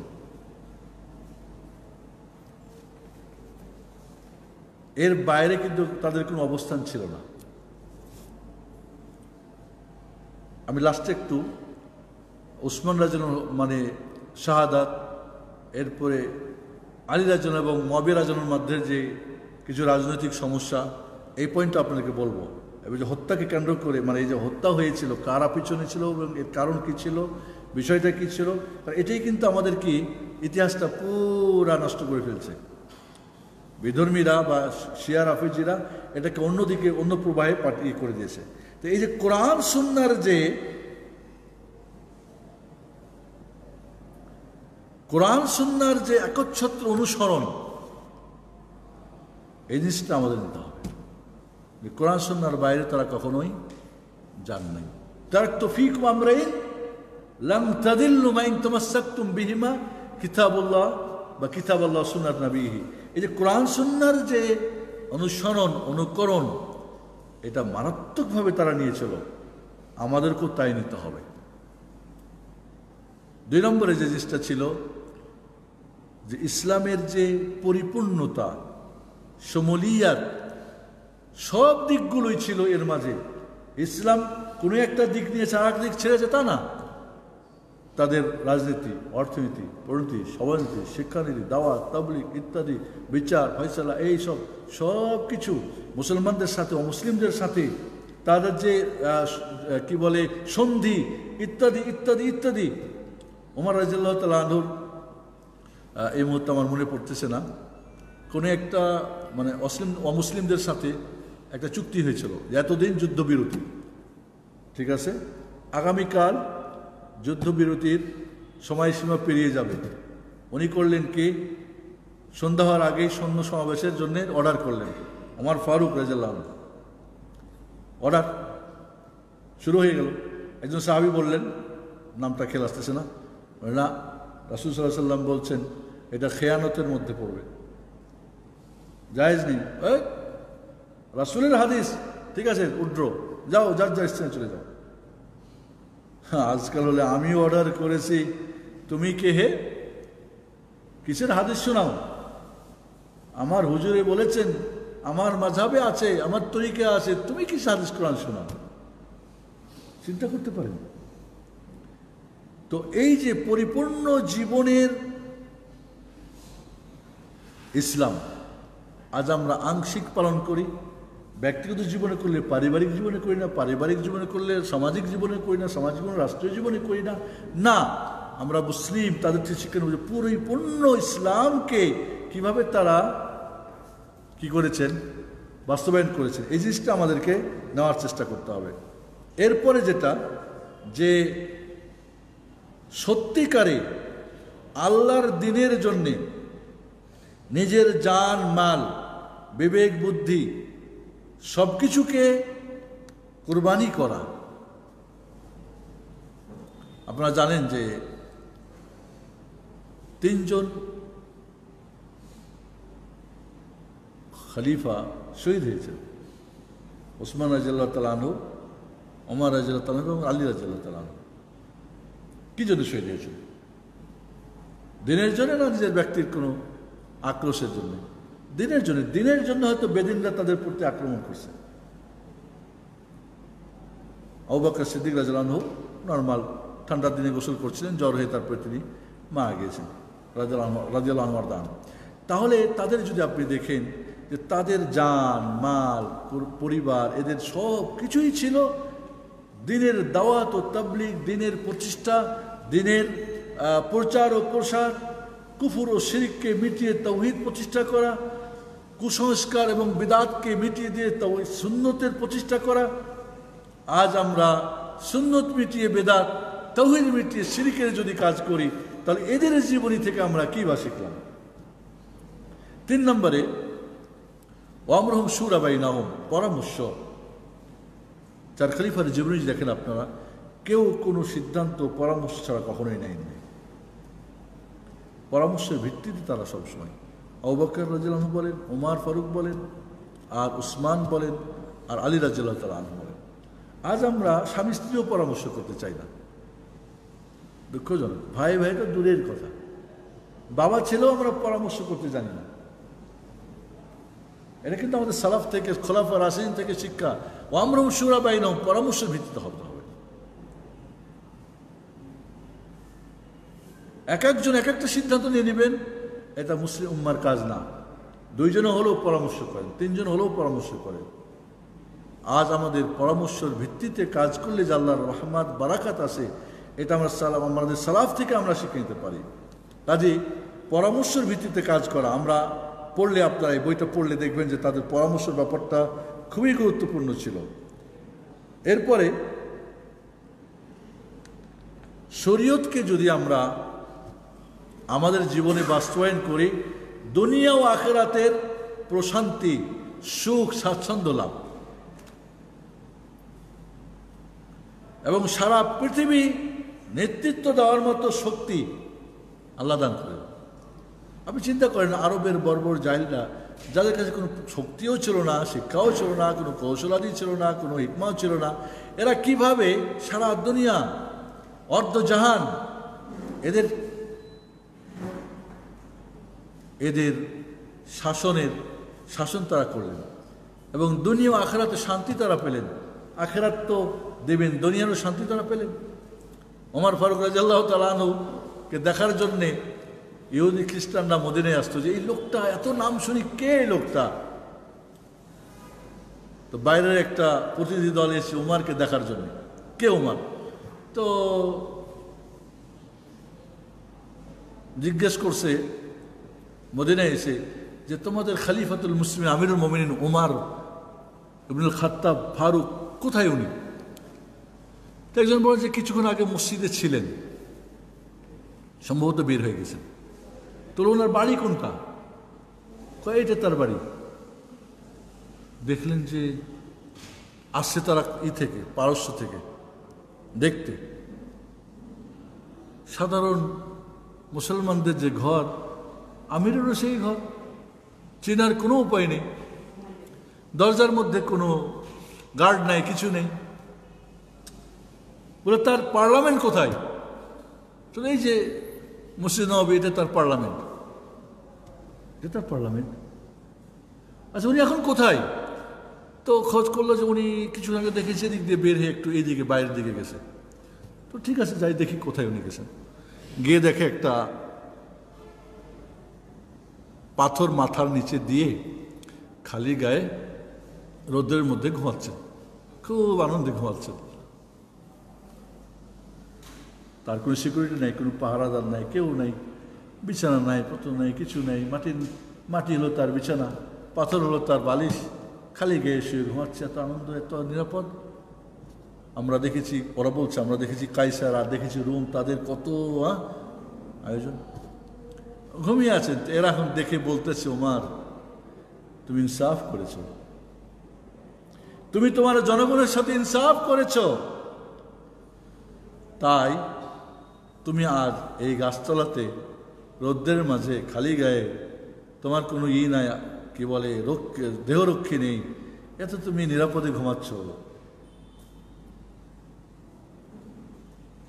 জানেন জুমারাজ যখন জেরুজালেম যাচ্ছিলেন, তার ভিত্তের সঙ্গে কবি নজরুল কত সুন্দর করেই না বলেছে, ঠিক না? হ্যাঁ যে একবার তুমি, একবার আমি টানবো। একবার তুমি উঠে উঠবে, আমি একবার উঠে উঠবো।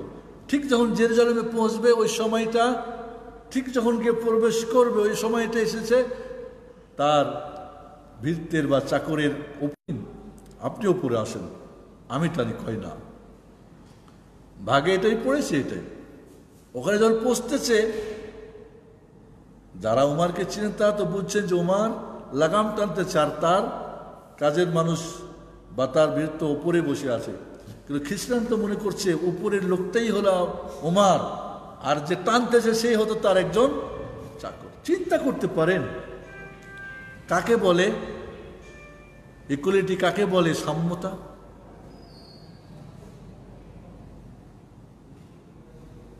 মিশরের গভর্নরের ছেলে আর একজন গরিব মানুষের ছেলে প্রতিযোগিতায় হেরে গেছে গভর্নরের ছেলে, তাই তাকে আঘাত করছে।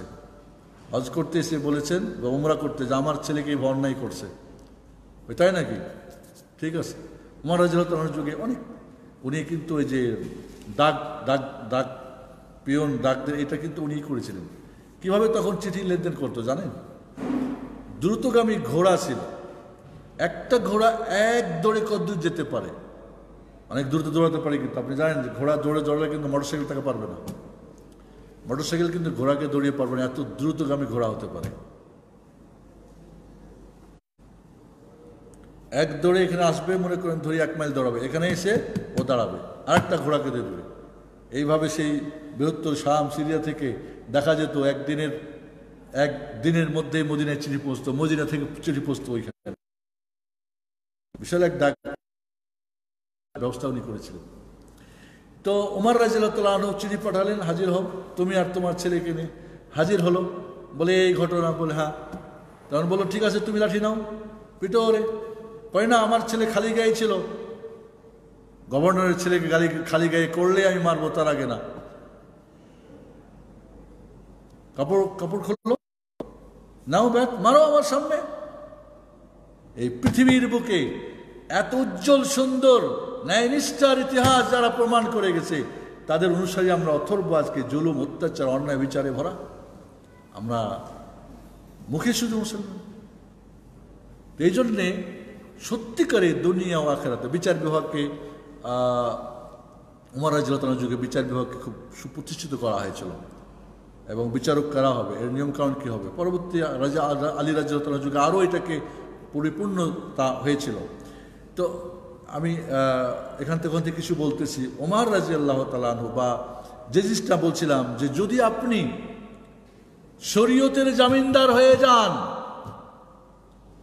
মহানব্বুল আলমিন দুনিয়া আখেরাতের শান্তির জামিনদার হয়ে যাবে আপনার জন্য। এই শিক্ষায় পেয়েছি আমরা সাহাবা ইকরাম খোলাফের আসিন থেকে।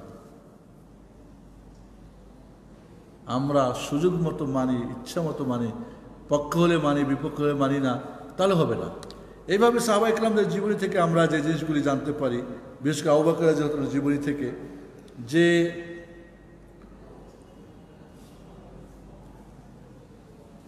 আল্লাহ রব্বুল আলমিন সাহাবা ইকরাম বিশেষ করে খোলাফায় রাশিদকে নির্বাচন করলেন রাসুলের সাহচর্য হিসাবে। এটা কি আল্লাহর পক্ষ থেকে একটা বিশেষ বিষয় না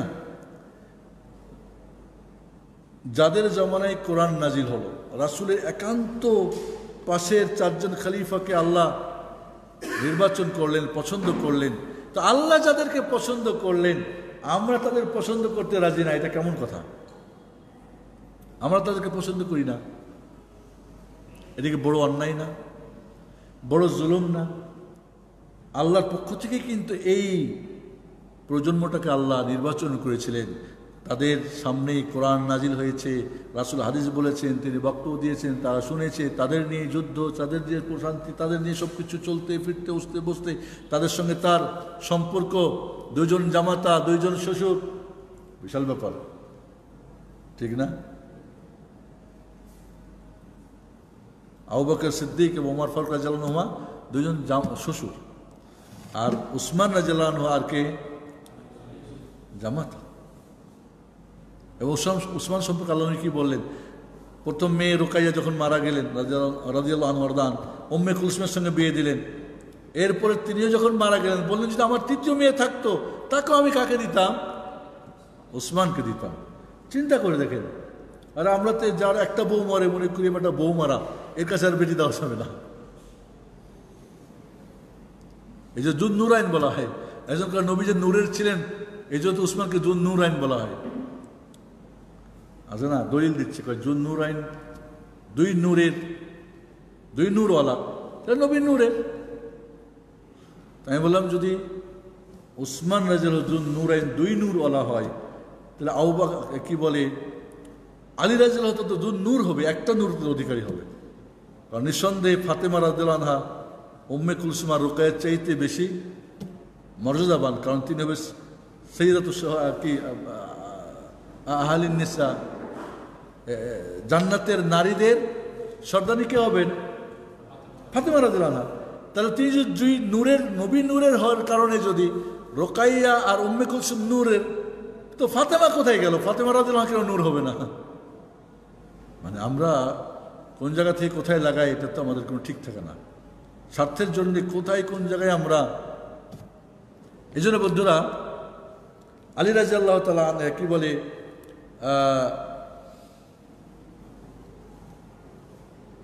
বলব যে এই যে সাহাবাইকলামদের মধ্যে, বিশেষ করে আউবাকার ওমার ওসমান আলী চারজন খালিফাকে আল্লাহ রব্বুল আলমিন তার নবীর শ্রেষ্ঠ সাহাবি হিসাবে তার জন্য যে আল্লাহ নির্বাচন করেছিলেন, সেই নির্বাচনটা আমাদের নিতে কেন কষ্ট লাগে? কেন শিয়ারাফি যারা বলে আউবাকার উমার, উসমান, মুরতাদ একজনই তিনি হচ্ছেন আলী?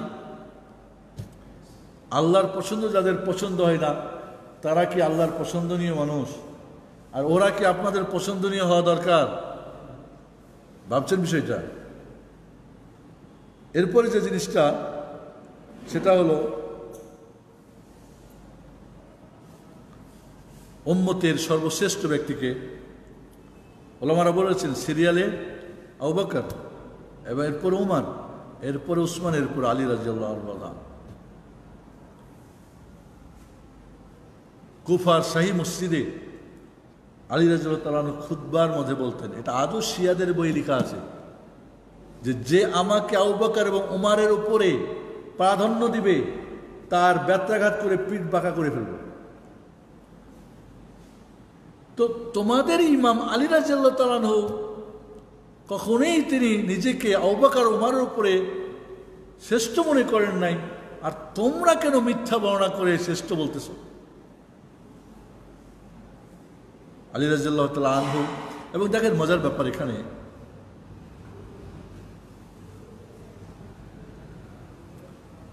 আলী রাজিয়াল্লাহ তালা তার মেয়ে উম্মে কুলসুম। ফাতেমার আলীর মেয়ের নাম কি? রাজিয়াল মর্দান উম্মে কুলসুম। এই উম্মে কুলসুমের সঙ্গে কার বিয়ে দিয়েছিলেন? ওমার ফারুক রাজিয়াল সাথে আমরা কিন্তু জানি জাহালি বাইতের সাথে এদের একটা সম্পর্ক ঘাটতি ছিল অমুক তুমুক এই সেই। আচ্ছা কেউ যদি এবং আলী রাজিয়াল তো কোনো কাপুরুষ না, যে ভয়ে বিয়ে দিয়ে দেবেন তার সাথে, আলী রাজিল্লাহ তালানুর মেয়ে উম্মে কুলসুম, ফাতেমার মেয়ে উম্মে কুলসুমের সাথে ওমারের বিয়ে দিয়েছিলেন। এবং আপনারা দেখবেন ইতিহাস যখন কারবালার ময়দানে আহলে বাইতের যারা শহীদ হয়েছিলেন, তাদের তিনজন সন্তান ছিল, ছেলে সন্তান, আলী রাজিল্লাহ তালানহুর এই তিনজনের নাম কি ছিল সিরিয়ালে? আউবাকার উমার, উসমান। আচ্ছা আপনারা বলেন তো, কেউ কি এই পৃথিবীতে নিজের সন্তান আবু জাহাল কেউ রেখেছে নাম? রেখেছে। আচ্ছা যারা ফেরাউন, ওরা কি ফেরাউন নাম রেখেছে? যারা আবুল হাব তারা কি আবুল হাব রেখেছে? আরও তো ওদের অনুসারী আছে? আছে না নাই? এই অনুসারীরাও কি তাদের সন্তানের নাম আবু জাহাল আর আবুল হাব আর ফেরাউন আর হামান আর কারণ রেখেছে? দ্বিতীয় পৃথিবীতে ওই ওই কারণের পরে আর কোন কারণ নাম এই দুনিয়ায় কেউ রেখেছে? হামান কেউ রেখেছে? ফেরাউন কেউ রেখেছে? আবু জাল আবুল আহাব রেখেছে? ওরাই রাখে নাই। মানে তাহলে বোঝা গেল যে ওরা কত ঘৃণিত। তাহলে আলী রাজি আল্লাহ তালু কি করে তার তিন সন্তানের নাম আউবাকার উমার, উসমান রাখতে পারেন? অবশ্যই তাদের সঙ্গে কি ছিল তাদের? ভালোবাসা ছিল, সুসম্পর্ক ছিল। আহলে বাইতের সঙ্গে তাদের, একবার উমার রাজিয়াল তালানোর কাছে তার ছেলে আবদুল্লাহ উমার বললেন, যে হাসান আর হোসেন তো আমার সমবয়সী। দুই ভাই কিন্তু হাসান হোসেন রাজিউল আনোয়ার দান মানে এক বছরের ছোট বড় বা অল্প কিছু মানে পিঠাপিঠি। তো ওদের এই সমবয়সীকে ওমারের ছেলে আবদুল্লাহ। তো যখন উমার রাজিয়াল্লাহ তালানহু যখন খলিফা বা আমিরুল মমিনিন, তো তাদের ভাতা ছিল খুব হাই। এক লক্ষ করে দিনার দিতেন এক বছরের ভাতা। হাসান আর হোসেন এক লক্ষ করে। আর আবদুল্লাহ বিন উমরের সাধারণ যে মুসলিম, তাদের ভাতা পেতেন। এমন অনেক কম। একবার বাবা যেহেতু আর ছেলে বললেন, বাবা, হাসান, হোসেন একই বয়সের আমি। ওরা যে যুদ্ধ বিগ্রহ করে, আমিও থাকি। তোদেরকে এত বড় অঙ্কের ভাতা দাও তুমি, আর আমাকে এত কম অঙ্কের দাও কেন? বললেন, আবদুল্লাহ, তুমি হাসান হোসেনের নানা আর নানি এনে দাও। হাসান হোসেনের যে নানা নানি, অর্থাৎ মোহাম্মদ রসুল্লাহ সাল্লাম আর খাদিজা রাজুল্লাহর মতো নানা নানি তুমি আমার কাছে হাজির করো।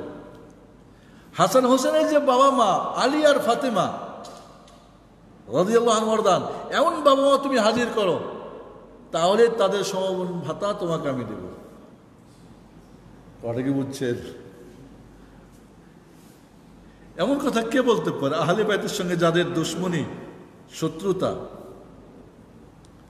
এই মবিয়া রাজুলের সঙ্গে যে আমাদের যে বিষয়গুলি যে মানে বলা হয়, মবিয়া রাজুল্লাহ তখন চরম শ্রদ্ধা করতেন, আহলে বাইতকে ভালোবাসতেন তাদেরকে। তাদের ভাতা দিতেন, সম্মান করতেন। কিন্তু এখানে হলো কি যে প্রায় একশো তিরিশ হিজড়িতে ওমাইয়া শেষ হয়ে গেল। এরপর আব্বাসীরা আসলো। এখানে শিয়ার আফেজিরা একেবারে মাটির নিচে ছিল। যখনই আব্বাসী আসলো, ঢুকে গেল আব্বাসীরা আহলে বাইতেন এইখানে প্রায় আর সাতশো, আটশো বছর এই ওমাইয়াদের এই যত ভালো কাজের, কোন ইতিহাস লিখতে দেওয়া হয়নি সব দাফন কাফন করা হয়েছে। এদের যারা মারা গেছিল, কবর থেকে উঠায় হাড়গুলিকে জ্বালাইছিল।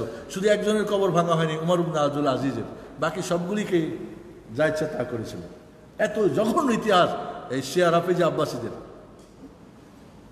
ভালো ছিল তাদের।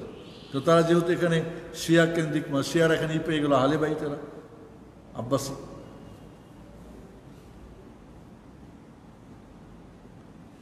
তাহলে যে কথাটা বলছিলাম যে যদি আপনি দিনের জামিনদার হন, দুনিয়া আখেরাতের, আল্লাহ আপনাকে শান্তির জামিন দেবেন। এবং রাসুল সাল্লামের পরে এই চার সাহাব, চারজন খলিফা, এরাই হলেন উম্মতির সর্বশ্রেষ্ঠ মানুষ। এক একজন একটা উম্মাদ ছিলেন। তাই তাদের ব্যাপারে আমাদের ধারণা থাকা আমাদের জরুরি। এরপরে যে বিষয়টা বলব, সত্যি যদি আমরা প্রতিষ্ঠিত হতে চাই, আমরা যদি আবার আমাদের স্বর্ণযুগ ফিরিয়ে আনতে চাই, তাদের জীবনী পড়ে, তাদের থেকে শিক্ষা নিয়ে আমাদের, তাদের অনুসরণ করে সামনে আগালেই সম্ভব।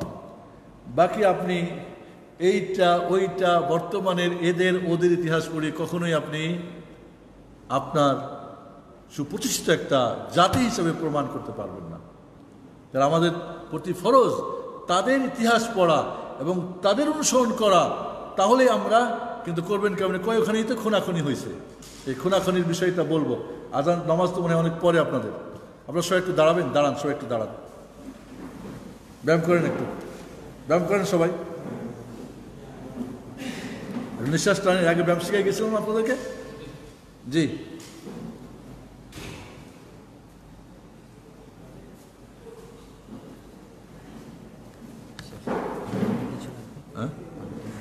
একটু পানি দিতে পারেন। একটু দাঁড়িয়ে থাকেন যাদের সমস্যা নাই? আপনি দাঁড়ান নাই কেন? দাঁড়িয়েছিলেন মানে দাঁড়িয়ে ক্লান্ত হয়ে গেলেন আবার বসে গেলেন? মাশাল্লাহ আপনাদের আগ্রহ উদ্দীপনা। যে বিষয়টা বলছিলাম যে, তাদের ইতিহাস পড়ে, তাদের অনুসরণ করলে আবারও সেই স্বর্ণযুগ আমরা ফিরিয়ে আনতে পারি। এছাড়া এটা ওটা ডানে বামের ইতিহাস পড়ে কখনোই সম্ভব নয়। আমাদের স্বর্ণযুগ ফিরিয়ে আনা। গেছে নিচে, নিচেই যেতে থাকব। এটা আমাদের এখান থেকে শিক্ষা নিতে হবে। আরেকটা কথা মনে রাখতে হবে। শত্রু ছিল মোহাম্মদ রসুল্লাহ সাল্লাহ সাল্লাম যখন মদিনায় গেলেন। একদিকে ইহুদিদের শত্রুতা, বানু কাইনুকা, বানু নাজির আর বানু কোরাইজা ওদিকে পৈত্তলিক যারা কাফের তারা। ভিতরে বাইরে ওদিকে রোম। ওদিকে পারস্য চতুর্দিক থেকে ঘেরা দুশ্মনী। এর মধ্যে দিয়ে তারা কাজ করেছেন। খোলাফায় রাশিদ রাজি আল্লাহ তালা আনহ, আমি তো বলি যে ওয়েস কার্নির কথা শুনে দাঁত ভাঙো, এত বড় আহম্মক মুসলিম। রাসুল যাদের, যারা, রাসুলের যারা দাঁত ভেঙেছিল, সাহাবা ইকরাম তাদের দাঁত ভেঙেছিলেন, ঠিক না? আর বোকা মুসলমান আমরা, নিজেরা নিজেদের দাঁত ভাঙি, এই বলে ইতিহাস আমাদের। এত আহাম্মক এক জাতি। আর ইতিহাস কত মজা করে, আর কত রং চং দিয়ে বর্ণনা করে এত মূর্খ এবং এত মানে কি বলব, জঘন্য। এটাই মনে হয় খুব যেন একটা ভালো ইতিহাস বলি। ওয়েস করে নাকি তার দাঁত ভেঙে দিয়েছিল। আর আমরা ওই দিনে হালুয়া রুটি খাওয়ার জন্যে হালুয়ার তো খাই, এর সঙ্গে রুটিও খাই, এর সঙ্গে গোস্তও খাই, দাঁত ভাঙ্গা রুজি বুঝি দাঁত ভাঙ্গা রুগী বুঝি রুটি খেতে পারে। এরা বুঝি গোস্ত চিবাইতে পারে। মানে আসলে হ্যাঁ বলে, অন্ধ, কি বলে, পাগল, দুই আর দুই কত বলে চার রুটি? রুটি কা? পেটে খিদা? আসলে ডালমি কুচ কালা ঘটনাটা আসল অন্য জায়গায়। আমরা নিজের স্বার্থে এগুলি করি। তো এখানে যে জিনিসটা বলব বন্ধুরা, বসেন আপনারা, যে আমাদের কিন্তু চতুর্দিক দিয়ে শত্রু, কোনো সন্দেহ নেই। আপনি সুরা বাকা, সুরা ফাতেহা পড়েন। সুরা ফাতেহায় আলমুনাম আলাহিম মানে আনামতা আলাহিম যাদের প্রতি আল্লাহ খুশি। ঠিক আছে না? এর ডানে বামে দুইটা গ্রুপের কথা বলছে না মাকদু আলিম আলাদ্দিন ইহুদিরা আর খ্রিস্টানরা। আবার সোরা বাকারা পড়েন। সোরা বাকারায় মমিনদের কথার পরে মোনাফেকদের কথা আছে না? তাহলে কয়টা দল হলো? ইহুদি, খ্রিস্টান, মোনাফেক। ওরা হলো বাইরের, এরা হলো ঘরের। ইহুদি, খ্রিস্টান, বাইরের, বিজাতীয় শত্রু। আর মোনাফেক কি? জাতীয় শত্রু, ঘরের। এই যে জাতীয় শত্রু বেশি মারাত্মক এবং ধর্মীয় ময়দানের শত্রুরা আরও কঠিন। আমরা রাজনৈতিক ময়দানের শত্রু, আমরা অমুক অর্থনীতির ময়দানের শত্রু এটা ওটা, কিন্তু ধর্মীয় ময়দানের শত্রুরা বেশি আমাদের জন্য কি ডেঞ্জার তাহলে শত্রুদেরকে পরাজিত করা, তাদেরকে বশভূত করা, এই কাজটাই তো করেছিলেন সাহাবাইক নজিয়াল্লাহ তালাম যে রোম হুমকি ধুমকি দিত যে পার্শ্ব হুমকি দিত, হুমকি ধুমকি দিত অমর রাজিল্লাহ তালানোর যুগে তসনস হয়েছে হয় নাই? সেই পরাশক্তি তসনস করেছেন খোলাফে রাশেদিন। আজও খোলাফে রাশেদিনের যদি আমরা মডেলে চলি, আজও পৃথিবীর সমস্ত পরাশক্তি পরাজিত হবে, কোনো সন্দেহ নেই। বাকি ওদের চামচাগিরি করে কিছু করবেন, এটা কখনোই সম্ভব নয়। কাজে আমাদের শত্রু দিয়ে ঘেরা, আমাদের ঘরের এবং বাইরের শত্রু এটাকে করতে হলে অবশ্যই আমাদের কি করতে হবে? আমাদের মাথায় রাখতে হবে। নয় নম্বরে যে বিষয়টা, খেলাফতের বিষয়টা। আল্লাহ নবী আলিসাল্লাম বলেছেন যে, আমার মৃত্যুর পরে তিরিশ বছর খেলাফত থাকবে। এরপরে মুলুকিয়াত আসবে। মুলুকিয়াত। খলিফা হবেন এরপরে মালিক, বাদশাহ হবে, রাজা হবে। তাহলে এখানে আল্লাহ নবী আলিসাল্লাম খেলাফতের তিরিশ বছর পূর্ণ হয়েছে। অবাক রাজিল্লাহ তালা প্রায় আড়াই বছর। ওমর রাজিল্লাহ তালা দশ বছর। কত হলো? উসমান রাজিল্লাহ বারো বছর। আলী রাজিল্লাহ তালাহ ছয় বছর। ছয় মাস বাকি এটা করেছিলেন হাসান আজিল্লাহ তালান এরপরে তিনি ইস্তফা দিলেন। এবং এটা ছিল ভবিষ্যৎবাণী। ভবিষ্যৎবাণী ছিল। তাহলে খেলাফতের যে বিষয়টা, এটা ইসলামের মধ্যে এর স্থান অনেক উপরে। খেলাফত বিষয়টাকে আমরা অ্যাভয়েড করে মুসলিম জাতি কখনোই খেলাফত ছাড়া, খেলাফতি অনুসরণ ছাড়া, খেলাফতি নিয়ম ছাড়া অন্য কোনো নিয়ম যে কখনোই তারা দুনিয়া আখড়াতে শান্তি কামনা করতে পারে না। এই জন্যে খেলাফতের বিষয়টা আমাদেরকে মাথায় রাখতে হবে চার খলিফার জীবনী পড়ে। সর্বশেষ কথা যেটা, সেটা হলো, জাতি গঠনে জাতি গঠনে কোরআন সন্ন্যার আলোকে তালিমের সঙ্গে তারবিয়াতের গুরুত্ব। ওমর রাজিয়াল তালা যখন আমিনুল মমিন হলেন আবুদ্দারদা সাহাবিকে বললেন, মদিনায় বসে বসে এবাদত করছ, খুব ভালো ভাই। এখানে আর থাকা যাবে না, চলে যাও। এখন বৃহত্তর শাম বিজয় হয়েছে, ওইখানে গিয়ে মানুষকে কোরআন শেখাও। একটা দার্সে এক হাজার করে মানুষ কোরআন শিখতে বসতেন।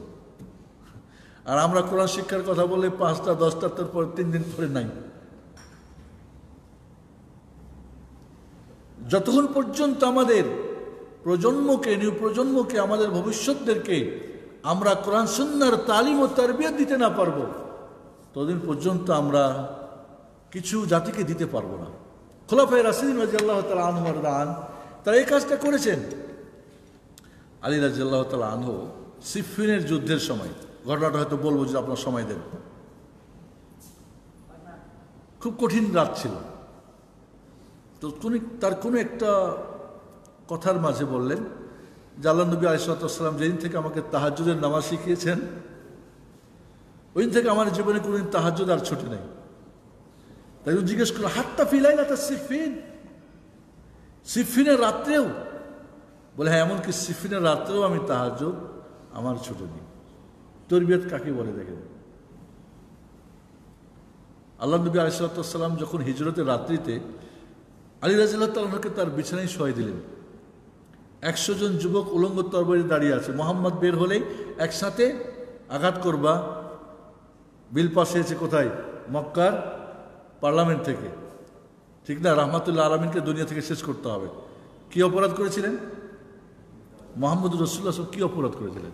মক্কায় কোনো ছিনতাই, কোনো ডাকাতি, কোনো রাহাজানি, কোনো চুরি, কোনো অন্যায়, কোনো খুন, কোনো খারাপি, কোনো কোনো ধরনের কিছু বিন্দু পরিমাণ কিছু অন্যায় করেছিল, একটাই অন্যায় ছিল কলুলা ইল্লাহ তুফলে হোক তাওহিদ মানো, শিরিক ছাড়ো, সুন্নত ধরো, বেদাত ছাড়ো, আজও সুন্নতের কথা বললে, আজও তৌহিদের কথা বললে, গায়ে যাদের আগুন জ্বলে যায়, তারা কোন দলের মানুষ?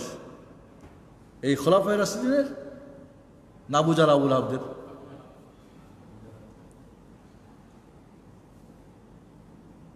বন্ধুরা আলিরাজুল্লাহ কোন সাহসে কোন সাহসে তিনি ওই বিছনায় শুয়ে গেলেন? নির্ঘাত জানেন সকালবেলা মোহাম্মদকে না পেলে আলি সালাতাম আলীকে ছিন্ন ভিন্ন করে দেবে। এটাই তো স্বাভাবিক, ঠিক না? তরবিয়ত কাকে বলে দেখেন? আকিদা কাকে বলে দেখেন? আল্লাহর প্রতি আস্থা কাকে বলেন যদি মরে যাই তো শহীদ হব। আর যদি না মরি, তো কেউ আমাকে মারতে পারবে না। আল্লাহর ফয়সলা কেউ আমাকে মারতে পারবে না পারবে তো সেই দিন মোহাম্মদুর রসুল্লাহ সাল্লাম যেভাবে নিরাপদে বের হয়ে গেলেন, এইভাবে আলী রাজিল্লাহ তো নিরাপদে তিন দিন পরে কি করলেন? মদিনায় ফিরে গেলেন। এবং এই কঠিন মুহূর্তে দেখেন, এই কঠিন মুহূর্তেও কাফেরদের আমানতের, আমানত ছিল মোহাম্মদ সাল্লামের কাছে গচ্ছিত। বললেন, আলীকে দায়িত্ব দিলেন, আমি তো চলে যাচ্ছি, এই লুক, আমি তো একটু কৌশল করে যাচ্ছি, প্রকাশে যেতে পারছি না। তো তুমি এই আমানতগুলি সবার অমুক অমুকের নামে আমানত পৌঁছে দিয়ে তারপরে তুমি যাবা। এই কঠিন মুহূর্তেও আমানত রক্ষাকারী মোহাম্মদ কারণ তিনি আল আমিন। আল খায়েন হতে পারেন না এবং তার শিষ্য নিজের হাতে কলমে তরবিয়ত দেওয়া আলী রাজিল্লাহ তো ভাবতে পারতেন, আরে যা, এত কিছু রাসুল বলেছেন বলুক, আমি এটা নিয়েই মদিনায় চলে যাই, আমাদের কাজে লাগবে। গেছিলেন? তরবিয়ত কাকে বলে? যখন আবুবাকার ঘরে শহরের মধ্যে বলছেন যে নিচে তাকালেই তো ধরা পড়ব, কি বলেছিলেন? মনে করছে অবাকার দুইজন, আল্লাহ হুমা তৃতীয়জন কে? আল্লাহ। এই আকিদা কই আজকে আমাদের? করোনা ভাইরাস একেবারে সব জড়সড় হয়ে গেলেন। আমি বলছি না করোনা ভাইরাসকে ভয় করবেন না, কিন্তু আমরা তো ছেড়ে দিই সব কিছু। করোনা ভাইরাস আল্লাহ দিলেই তো হবে, আমাকেও তকদির তদবির দুটাই মানতে হবে। এই জন্য বন্ধুরা, এখানে যদি আমরা তালিম এবং তারিবিয়াতের কথা, আজ তালিমের কিসে হচ্ছে? হাজার হাজার মসজিদে দাঁড়িয়ে তালিমের কথা দিয়ে মানুষকে বসিয়ে কিসের তালিম দেওয়া হচ্ছে? কোন বই থেকে পড়া হচ্ছে? কিতাবের বয়ান হবে, কোন কিতাব আমাদের বয়ান হচ্ছে? কিতাবুল্লাহ তো একটাই। তার তো ফিকুম আমরা এই দুইটা জিনিস গেলাম, কিতাবুল্লাহ, সুন্নাত নাবি। তো কোন কিতাবুল্লাহ পড়তে হচ্ছে? আজকে ছিল কোরআনুল করিম, আমরা আজকে নিয়ামুল কোরআন অনুসারী হয়ে গেলাম। পাইলাম সৈহাদিসের হাদিস কিতাব বুখারি, হয়ে গেলাম মকসুদুল মুমিনের আমরা। এইভাবে এই জন্য বন্ধুরা, খোলাফে রাসিনের যুগে যে এবং আপনারা জানেন যে ওমার রাজিয়াল তালানোর যুগে নতুন নতুন যে দেশ বিজয়িত হয়েছে, তিনি কুফা, বাসরা ভুসফুস্তান নতুন নতুন শহর বানিয়েছেন। হ্যাঁ? দাওবিন বানিয়েছেন আপনারা জানেন যে আজ পৃথিবীর জুড়ে ওমার রাজিয়াল তালানোর শাসন আমলকে মডেল হিসাবে কাফেররা নিচ্ছে। আর তিব্বুর নবী আল্লাহ নবী আলিসাল্লাহ সাল্লামের চিকিৎসা বিজ্ঞানকে আর সারা দুনিয়ায় সমাদিত হচ্ছে, আর আমরা আজ আজও তাবিজ নিয়ে বসে আছি। তাবিজ তো রাসুলের ছিল না। চিকিৎসা বিজ্ঞানে ছিল না। ওটা চলে আসলো কারণ কারণ যদি রাসুলের তীব নিই তাহলে মানুষ উপকৃত হবে, আর যদি নিজেরটা নিই, তাহলে আমার উপকার হবে। একজন বড় কষ্ট করেই বলেছিলেন, সাড়ে চোদ্দশো বছর পরেও মনে হয় তাদের এবং আমাদের মাঝে পার্থক্য শুধু এতটুকু, এক বিগত ওরা চর্চা করেছিলেন এইটার আর আমরা করি এক হাত নিচে বাস। এই জন্য সাহাবাইকরাম রাজি আল্লাহ তালম খোলাফের আসিদিনের যুগে যদি আমরা দেখি, আবু আকার উমার রাজি আল্লাহ যুগে ইমাম নিয়োগ করা হলো, কাজী নিয়োগ করা হলো আপনার মাহকামা, কী বলে ওটাকে বিচারালয় তৈরি করা হলো।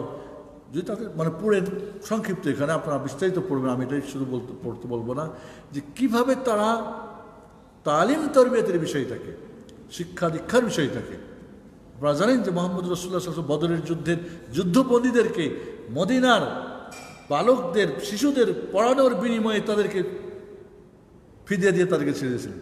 একটা শিশুকে শিখাই দিবা আরবি, তুমি ছুটি, যাও, চলে যাওয়া মক্কা। তুমি যুদ্ধবন্দীর কি কার তোমার? ই কি? কি বলে কি? মুক্তিপণের জন্যে একটা করে বাচ্চা শিখাবা যাবা, দুইটা শিখাবা যাবা। কি আদর্শ ছিল তাদের? কত গুরুত্ব ছিল। আর আমাদের ছেলে মেয়েদের ব্যাপারে আমরা কি ভাবতেছি? এই জন্য বলব দশ নম্বর বিষয়টা, যে আমাদের তালিম এবং তারবিয়াতকে যদি আমরা একসাথে দিতে পারি, তখনই আমরা আমাদের পূর্বসূরি, আমাদের এই সালাফিদের আমরা বলতে পারি, সালাফি, আমি অমুক, আমি তুমুক, তাদের তাদের দিকে সম্বোধন করতে পারি। তাছাড়া নিচক শুধু তাদের নাম ব্যবহার করব, আর কাম হবে আর একটা এটা কিন্তু অন্যায় হবে। বলছিলাম, খোলাফা রাসিনদের যুগে যে হত্যা বা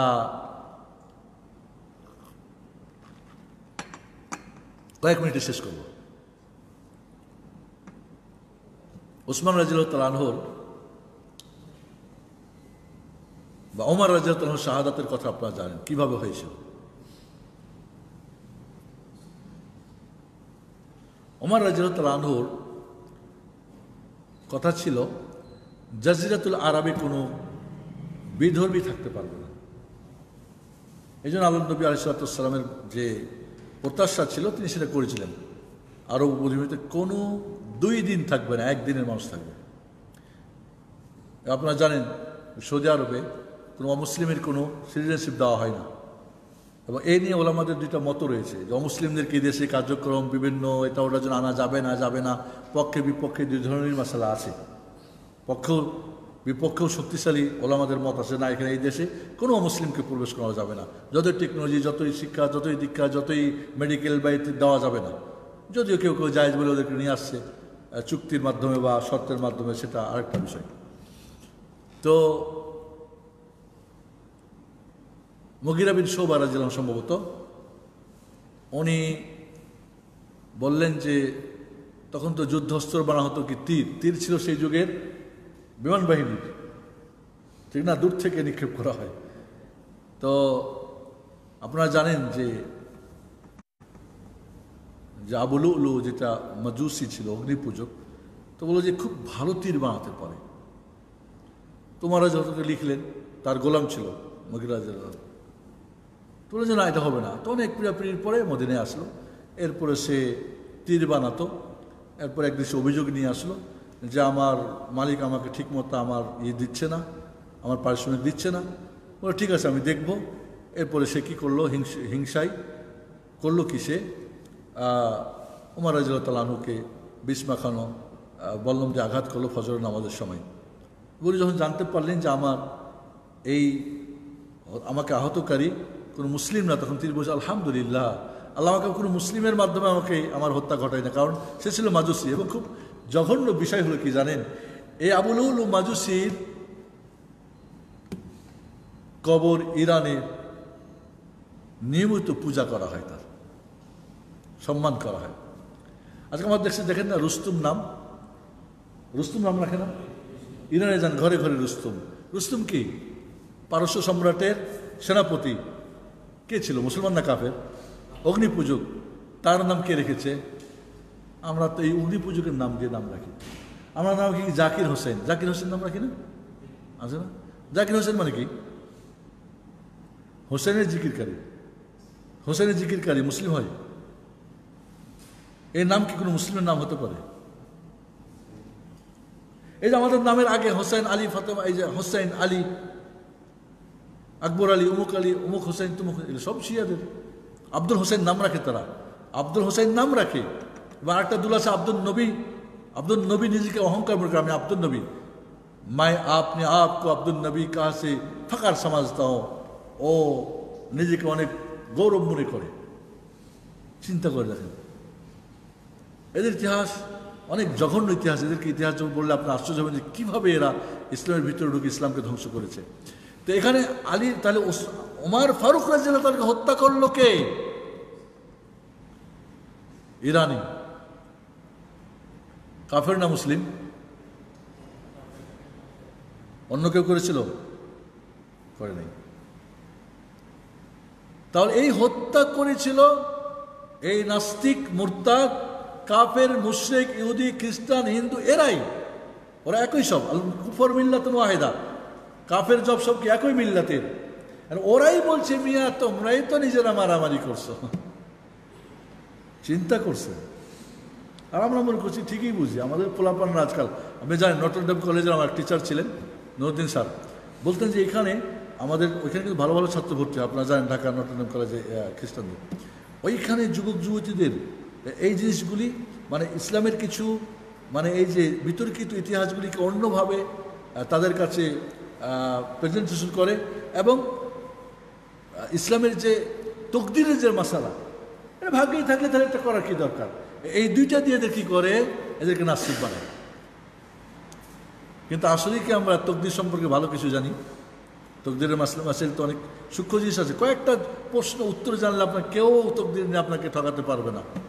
আর ইসলাম ইসলামের ইতিহাস আমরা জানি না। তাহলে উমার ফারুক রাজিল্লাহ আনুকে যে হত্যা করল, তার কবরের পূজা করে তাকে সম্মান করা হয় কোথায়? ইরানে। বোঝেন তাহলে ইরান কে আপনাদের?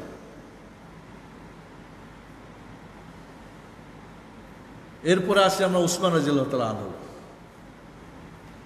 ইয়েমানের রাজধানী সাবা, এখানে এক এহুদি এক নিগ্র মহিলার সাথে তার অবৈধ সম্পর্ক হয়। সন্তান জন্ম নেয়। তার নাম রাখা হয় আবদুল্লাহ। বাবার তো পরিচয় নাই। সাবা হলো রাজধানী। তো বলো আবদুল্লাহ বিন সাবা। সাবা নাম রাখতো যদি ওর বাবার নাম কিন্তু সাবা ছিল না। রাজধানী হলো সাবা। যেরকম যদি মনে করেন, আবদুল্লাহ বিন ঢাকা। ঢাকার বেটা আবদুল্লাহ। রাজধানী ঢাকা না আমাদের? খেয়াল করেন নামটা কত। কিন্তু আবদুল্লাহ যেহেতু আহাবুল আসমাইল আল্লাহ আব্দুল আবদুল্লাহ আব্দুর রহমান। আল্লাহ নিকট সর্বপ্রিয় নাম কি আব্দুল আব্দুর রহমান? তাই এই ইহুদির নাম রাখা হলো আবদুল্লাহ। বাবার পরিচয় নেই, তাই সাবারে তার বাবা বানানো হলো এর এই দিয়ে ইহুদিরা পিছন দিক থেকে খেলা শুরু করল। ওরা জানে সামনে মুসলমানের সামনে টিকা সম্ভব না। খোলাফায় রাশিদের যে আদর্শে যে দিন, এইখানে মোহাম্মদ সাল্লামের যে প্রতিষ্ঠিত দিন, এর সামনে দাঁড়িয়ে কিছু মোকাবেলা করা সম্ভব নয়, পিছন দিক থেকে খেলতে হবে। তাই তারা ওই আবদুল্লাহ বিন সাবারে ওরা শিখিয়ে পড়িয়ে মুনাফিক মুসলমান বানিয়ে এ ঢুকলো ওখান থেকে আসে বাসরা, কুফা। কি শুরু করল? উসমান রাজিরতানোর বিরুদ্ধে অপপ্রচার শুরু করল। উনি নিজের আত্মীয় স্বজনকে চাকরি বাকরি দেন। এই কুফার লোক, তোমাদের এখানে গভর্নরকে কয় অমুক কোথায় বাড়ি? মদিনা। কে তোমাদের ছেলেরা গভর্নর হতে পারে না? ওইখান থেকে আসে কে? জানো কে ওইটা? ওইটা উসমানের ছোট ভাই। আজও কি তার ছোট ভাই না বড় ভাই? ওর আত্মীয় কি? ওর কি জানে? কুফার লোক কি জানে? জানে না তো।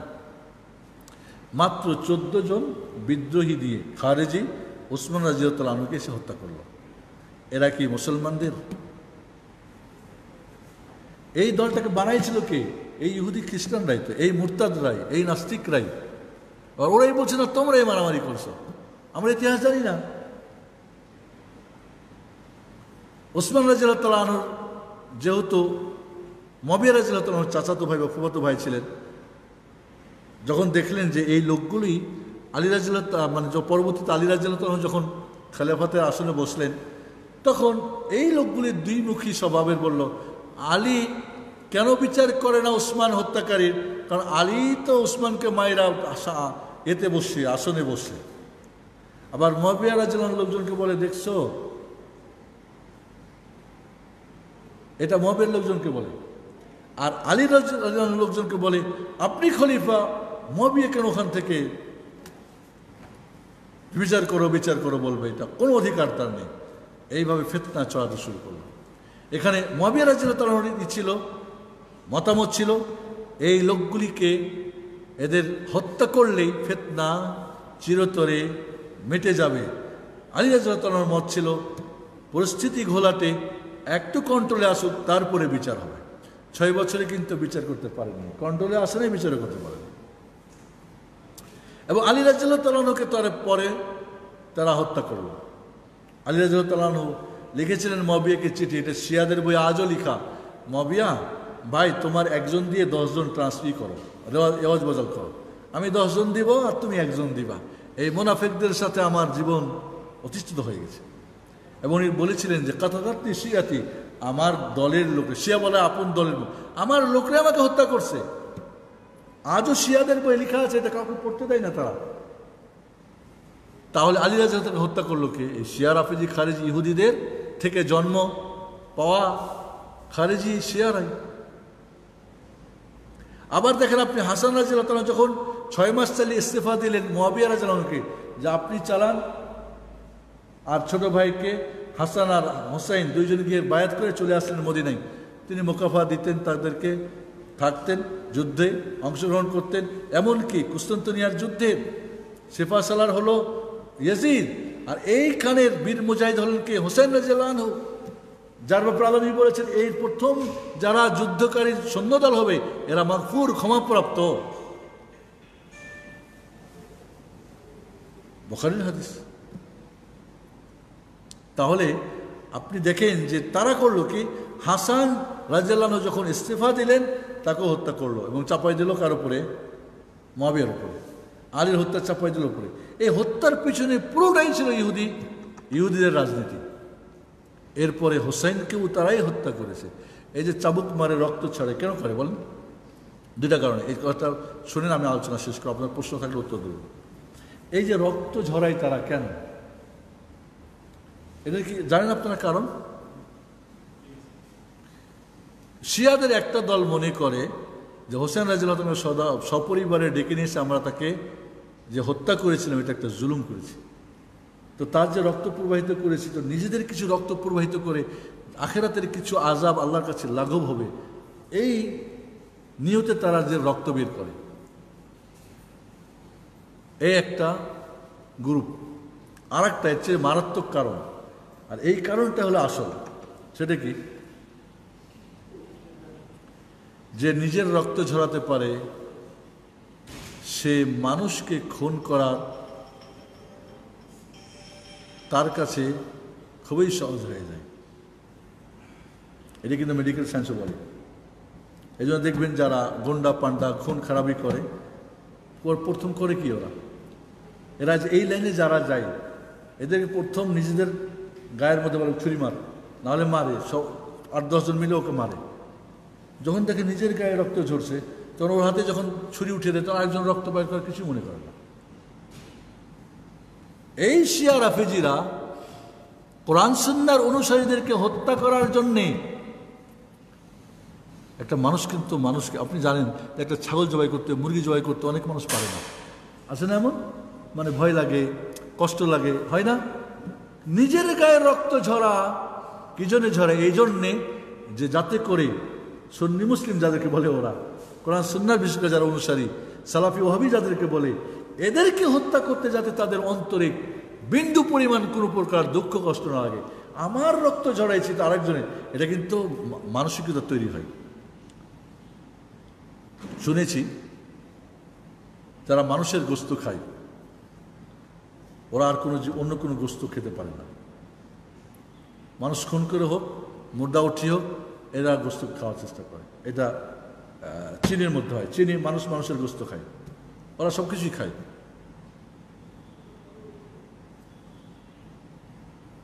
তাহলে শিয়া রাফেজিরা নিজেদের খুন যায়। নিজের ছোট্ট বাচ্চাকে এর মাধ্যমে ট্রেনিং নেয় এবং মানুষ খুন করার প্রশিক্ষণ নেয় তারা। এবং এই প্রশিক্ষণ কাকে খুন করার জন্য? কোনো ইহুদি? কোনো খ্রিস্টান? কোনো হিন্দু, কোনো বৌদ্ধিস্ট বা কোনো মুসলিম। না, আমরা বলছি না তাদের হত্যা করতে হবে, এটা তো আমরা আমরা বলি না। কিন্তু একজন মুসলিম হয়ে এই আউবাকার ওমার ওসমান আলিরাজিলতার অনুসারী যারা, তাদেরকে হত্যা করার জন্য প্রশিক্ষণ নেই তারা। নাউজবিল্লা বলে পুরো ইতিহাসটা কি দাঁড়াল? এর হত্যার পিছনে কারা? উমার রাজিলান হত্যার পিছনে কে? উসমানের হত্যার পিছনে কে? হাসানকে হোসেনকে পরবর্তী আপনারা জানেন যে শিয়াদের যে কালো ইতিহাস, আপনার বাগদাদ ধ্বংসের ইতিহাস জানেন তো, যে শিয়ারা কীভাবে হ্যাঁ ডেকে নিয়েছে কীভাবে কী করছে। তো এই জন্যে আমাদের মনে রাখতে হবে, সর্বশেষ বলব খোলাফের রাসিদের জীবনী, ছোট্ট একটা বই দেখলাম এখানে পাওয়া যায়। আপনারা নেবেন, পড়বেন, কোনো সংশোধনী থাকলে আমাকে জানাবেন, বা কোনো যদি অ্যাড করতে হয় সেটাও বলবেন, আমরা আরও এটা ভালো করে ঝাপতে পারি। আর আমরা কি বলে এটাকে? একটা গাছে আম ধরছে অনেক। তো যেগুলি পেকে গেছে, ওখান থেকে কিছু কিছু নিয়ে খেয়ে নিয়ে চলে গেলাম। এটা হলো আর কি। কারণ জীবনী অনেক বড়। এখান থেকে, ওখান থেকে কিছু আমরা ফল পেড়ে দিলাম আপনাদের খালি এটা যথেষ্ট না। আমি শুধু এটুকু বলব যে আজকে অনুপ্রেরণা নেন যে আমাদের যে অরিজিনাল ইতিহাস, অরিজিনাল বুক থেকে পড়ার আমরা চেষ্টা করি, শিক্ষা নিই। আল্লাহ রবুল্লা আলমিন আমাদেরকে, আমাদের সালাফে সালিহীন যারা সাহাবা ইকরাম রাজলাম তাবে আইম্মা কেরাম যারা, আমাদের যে স্বর্ণ, আমাদের যে স্বর্ণযুগের ইতিহাস, সেটাকে আমরা পড়ি এবং আমরা নিজের জীবনে কমপক্ষে ব্যক্তি, পরিবারের জীবনে তো আমরা বাস্তবায়ন করতে পারি, সমাজে তো আরও দুজনকে বলতে পারি এর জন্য আমাদেরকে তফিক দান করে আমিন। আমি মনে করি আজকের এই আলোচনা একশোর মধ্যে হয়তো আমি পাঁচ থেকে সাত করেছি মানে হকাদা করতে পারি না, এই জন্য আমি দুঃখিত।